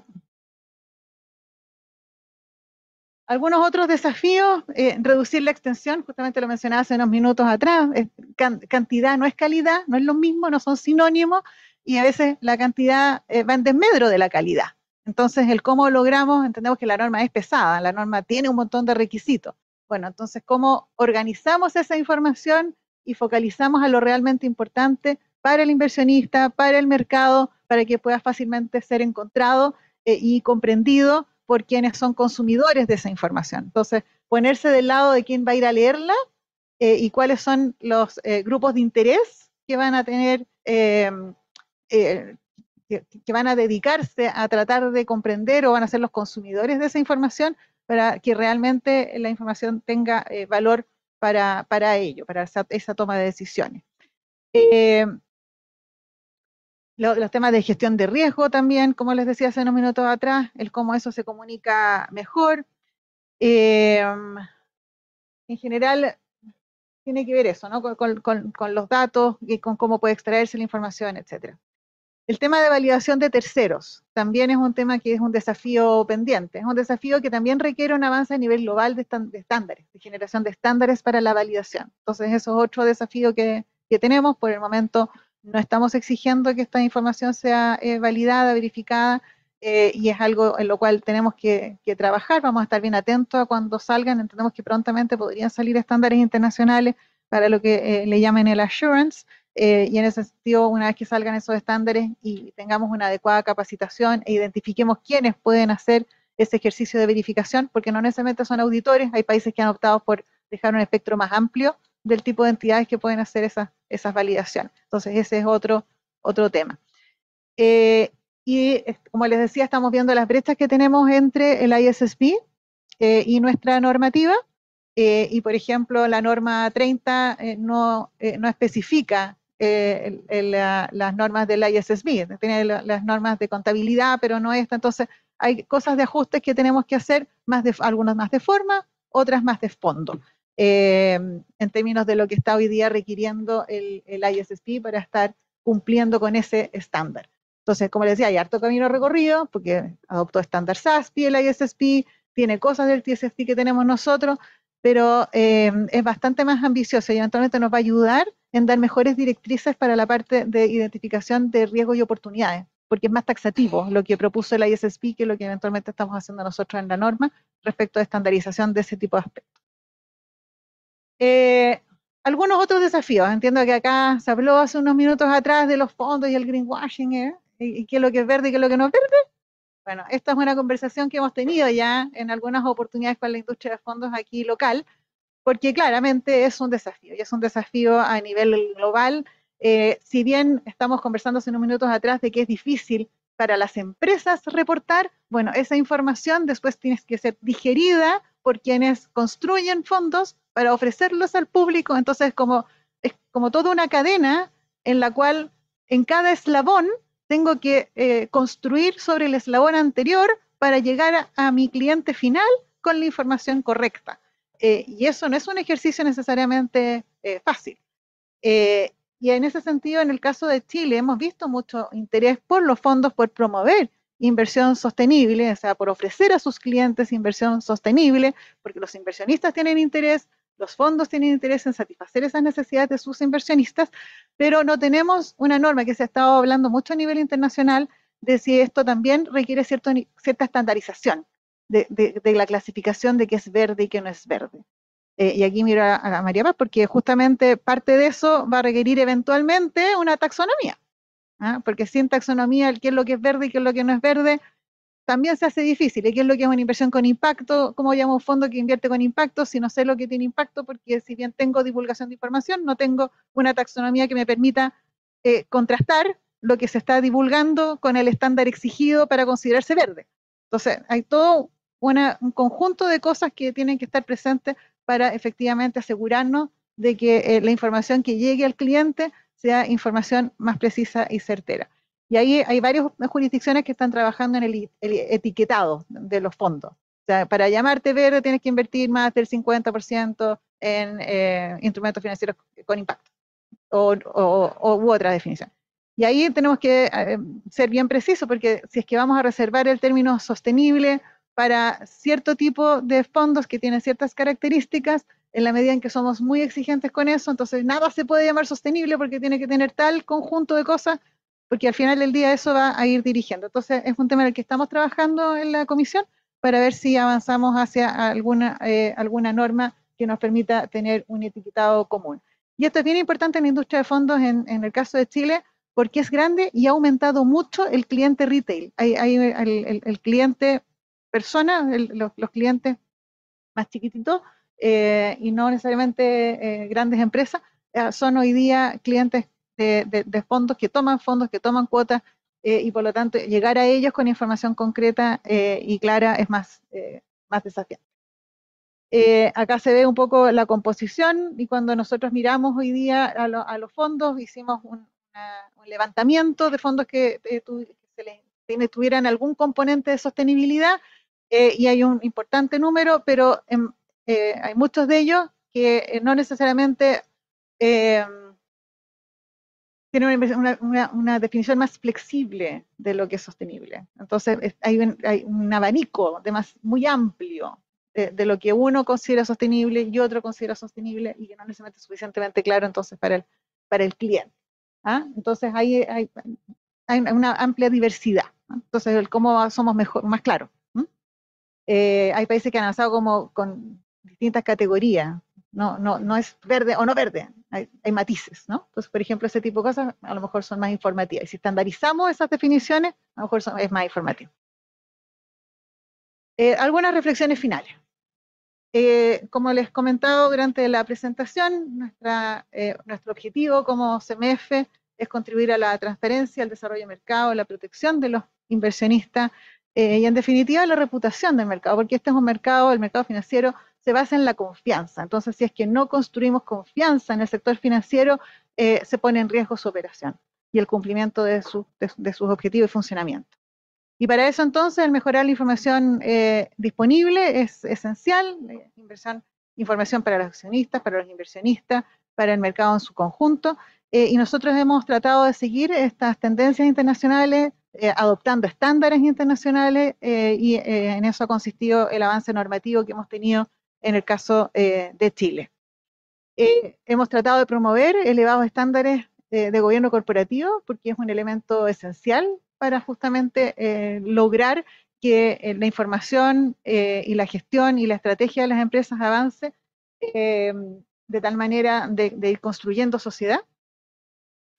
Y mejora entonces también la resiliencia del, del sistema financiero. Al final del día, el sistema financiero en su conjunto depende de que esto funcione, más, más allá de, de la mejor información para los inversionistas en particular, el sistema en su conjunto eh, requiere que esto opere de manera adecuada eh, para eh, su estabilidad. Las empresas son las primeras llamadas en fortalecer su gobierno corporativo y en velar porque la calidad de la información que se reporte, por la transparencia, entonces el tema de gobernanza está en el centro. son quienes están en una posición privilegiada, o sea, nosotros como supervisores estamos a una distancia bastante más grande de lo que está pasando al interior de la, de la empresa. Por lo tanto, eh, un llamado, digamos, a quienes hoy día son parte de las empresas a eh, dar relevancia a este tipo eh, de información y al impacto y riesgo que implica la, gestión de la porque no es la información, sino que es lo que la información significa, los riesgos que trae para la misma empresa. Eh, incorporar entonces las temáticas de ESG eh, en las definiciones estratégicas, políticas, controles, etcétera, eh, agrega valor a la empresa, además de agregar valor a la sociedad en su conjunto. El deber fiduciario de los directorios, algo que también hemos reforzado mucho, hoy día más con la nueva ley de delito económico que está popular últimamente, entonces el, rol de los directorios y las responsabilidades que tienen en este tipo de materias y en otras es bien importante. Y para nosotros es un desafío de supervisión, sin duda. Eh, continuar avanzando en la regulación, apegándolo a los estándares internacionales, el tener una adecuada eh, supervisión, pero nuestra supervisión no agota o, no extingue o no elimina la responsabilidad de las propias empresas y de los inversionistas en, eh, mejorar esto. Así que vamos a cumplir nuestro rol, en eso estamos, pero depende de todos. Muchas gracias.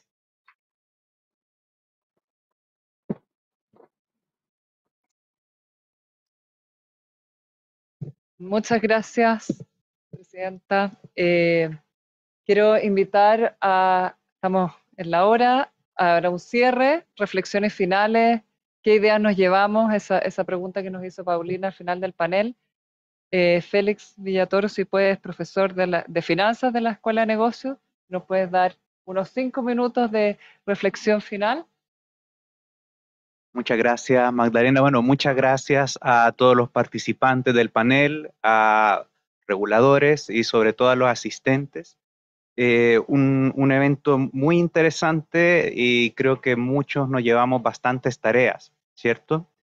Em, la definición de una taxonomía que parece estar en la base de, eh, de, varios de los procesos y de las tareas que vienen hacia adelante, eh, parece ser una tarea clave, ¿cierto?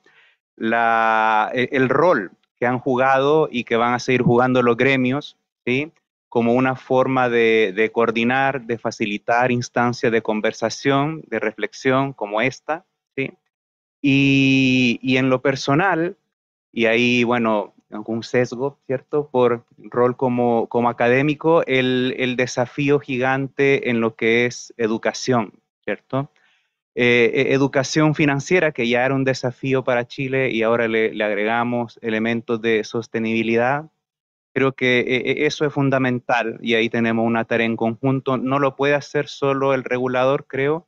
Hay que tener proactividad desde la industria también y con colaboración ciertamente de los que estamos en la academia, ¿sí? O sea, el, el, eh, el minimizar el riesgo de greenwashing, el no levantar falsas o, o, inflar expectativas, ¿cierto? Acerca de qué es lo que un producto ESG puede hacer o no puede hacer, eh, el estar consciente que puede tener costos asociados, que puede haber un impacto en rentabilidad y el cómo se comunica y transparenta esa información, creo que va a ayudar a que esto sea un proceso más transparente, más fluido, más justo con al final, al final del día los inversionistas, ¿sí? que tienen que estar también empujando el carro para alcanzar los objetivos que son ambiciosos.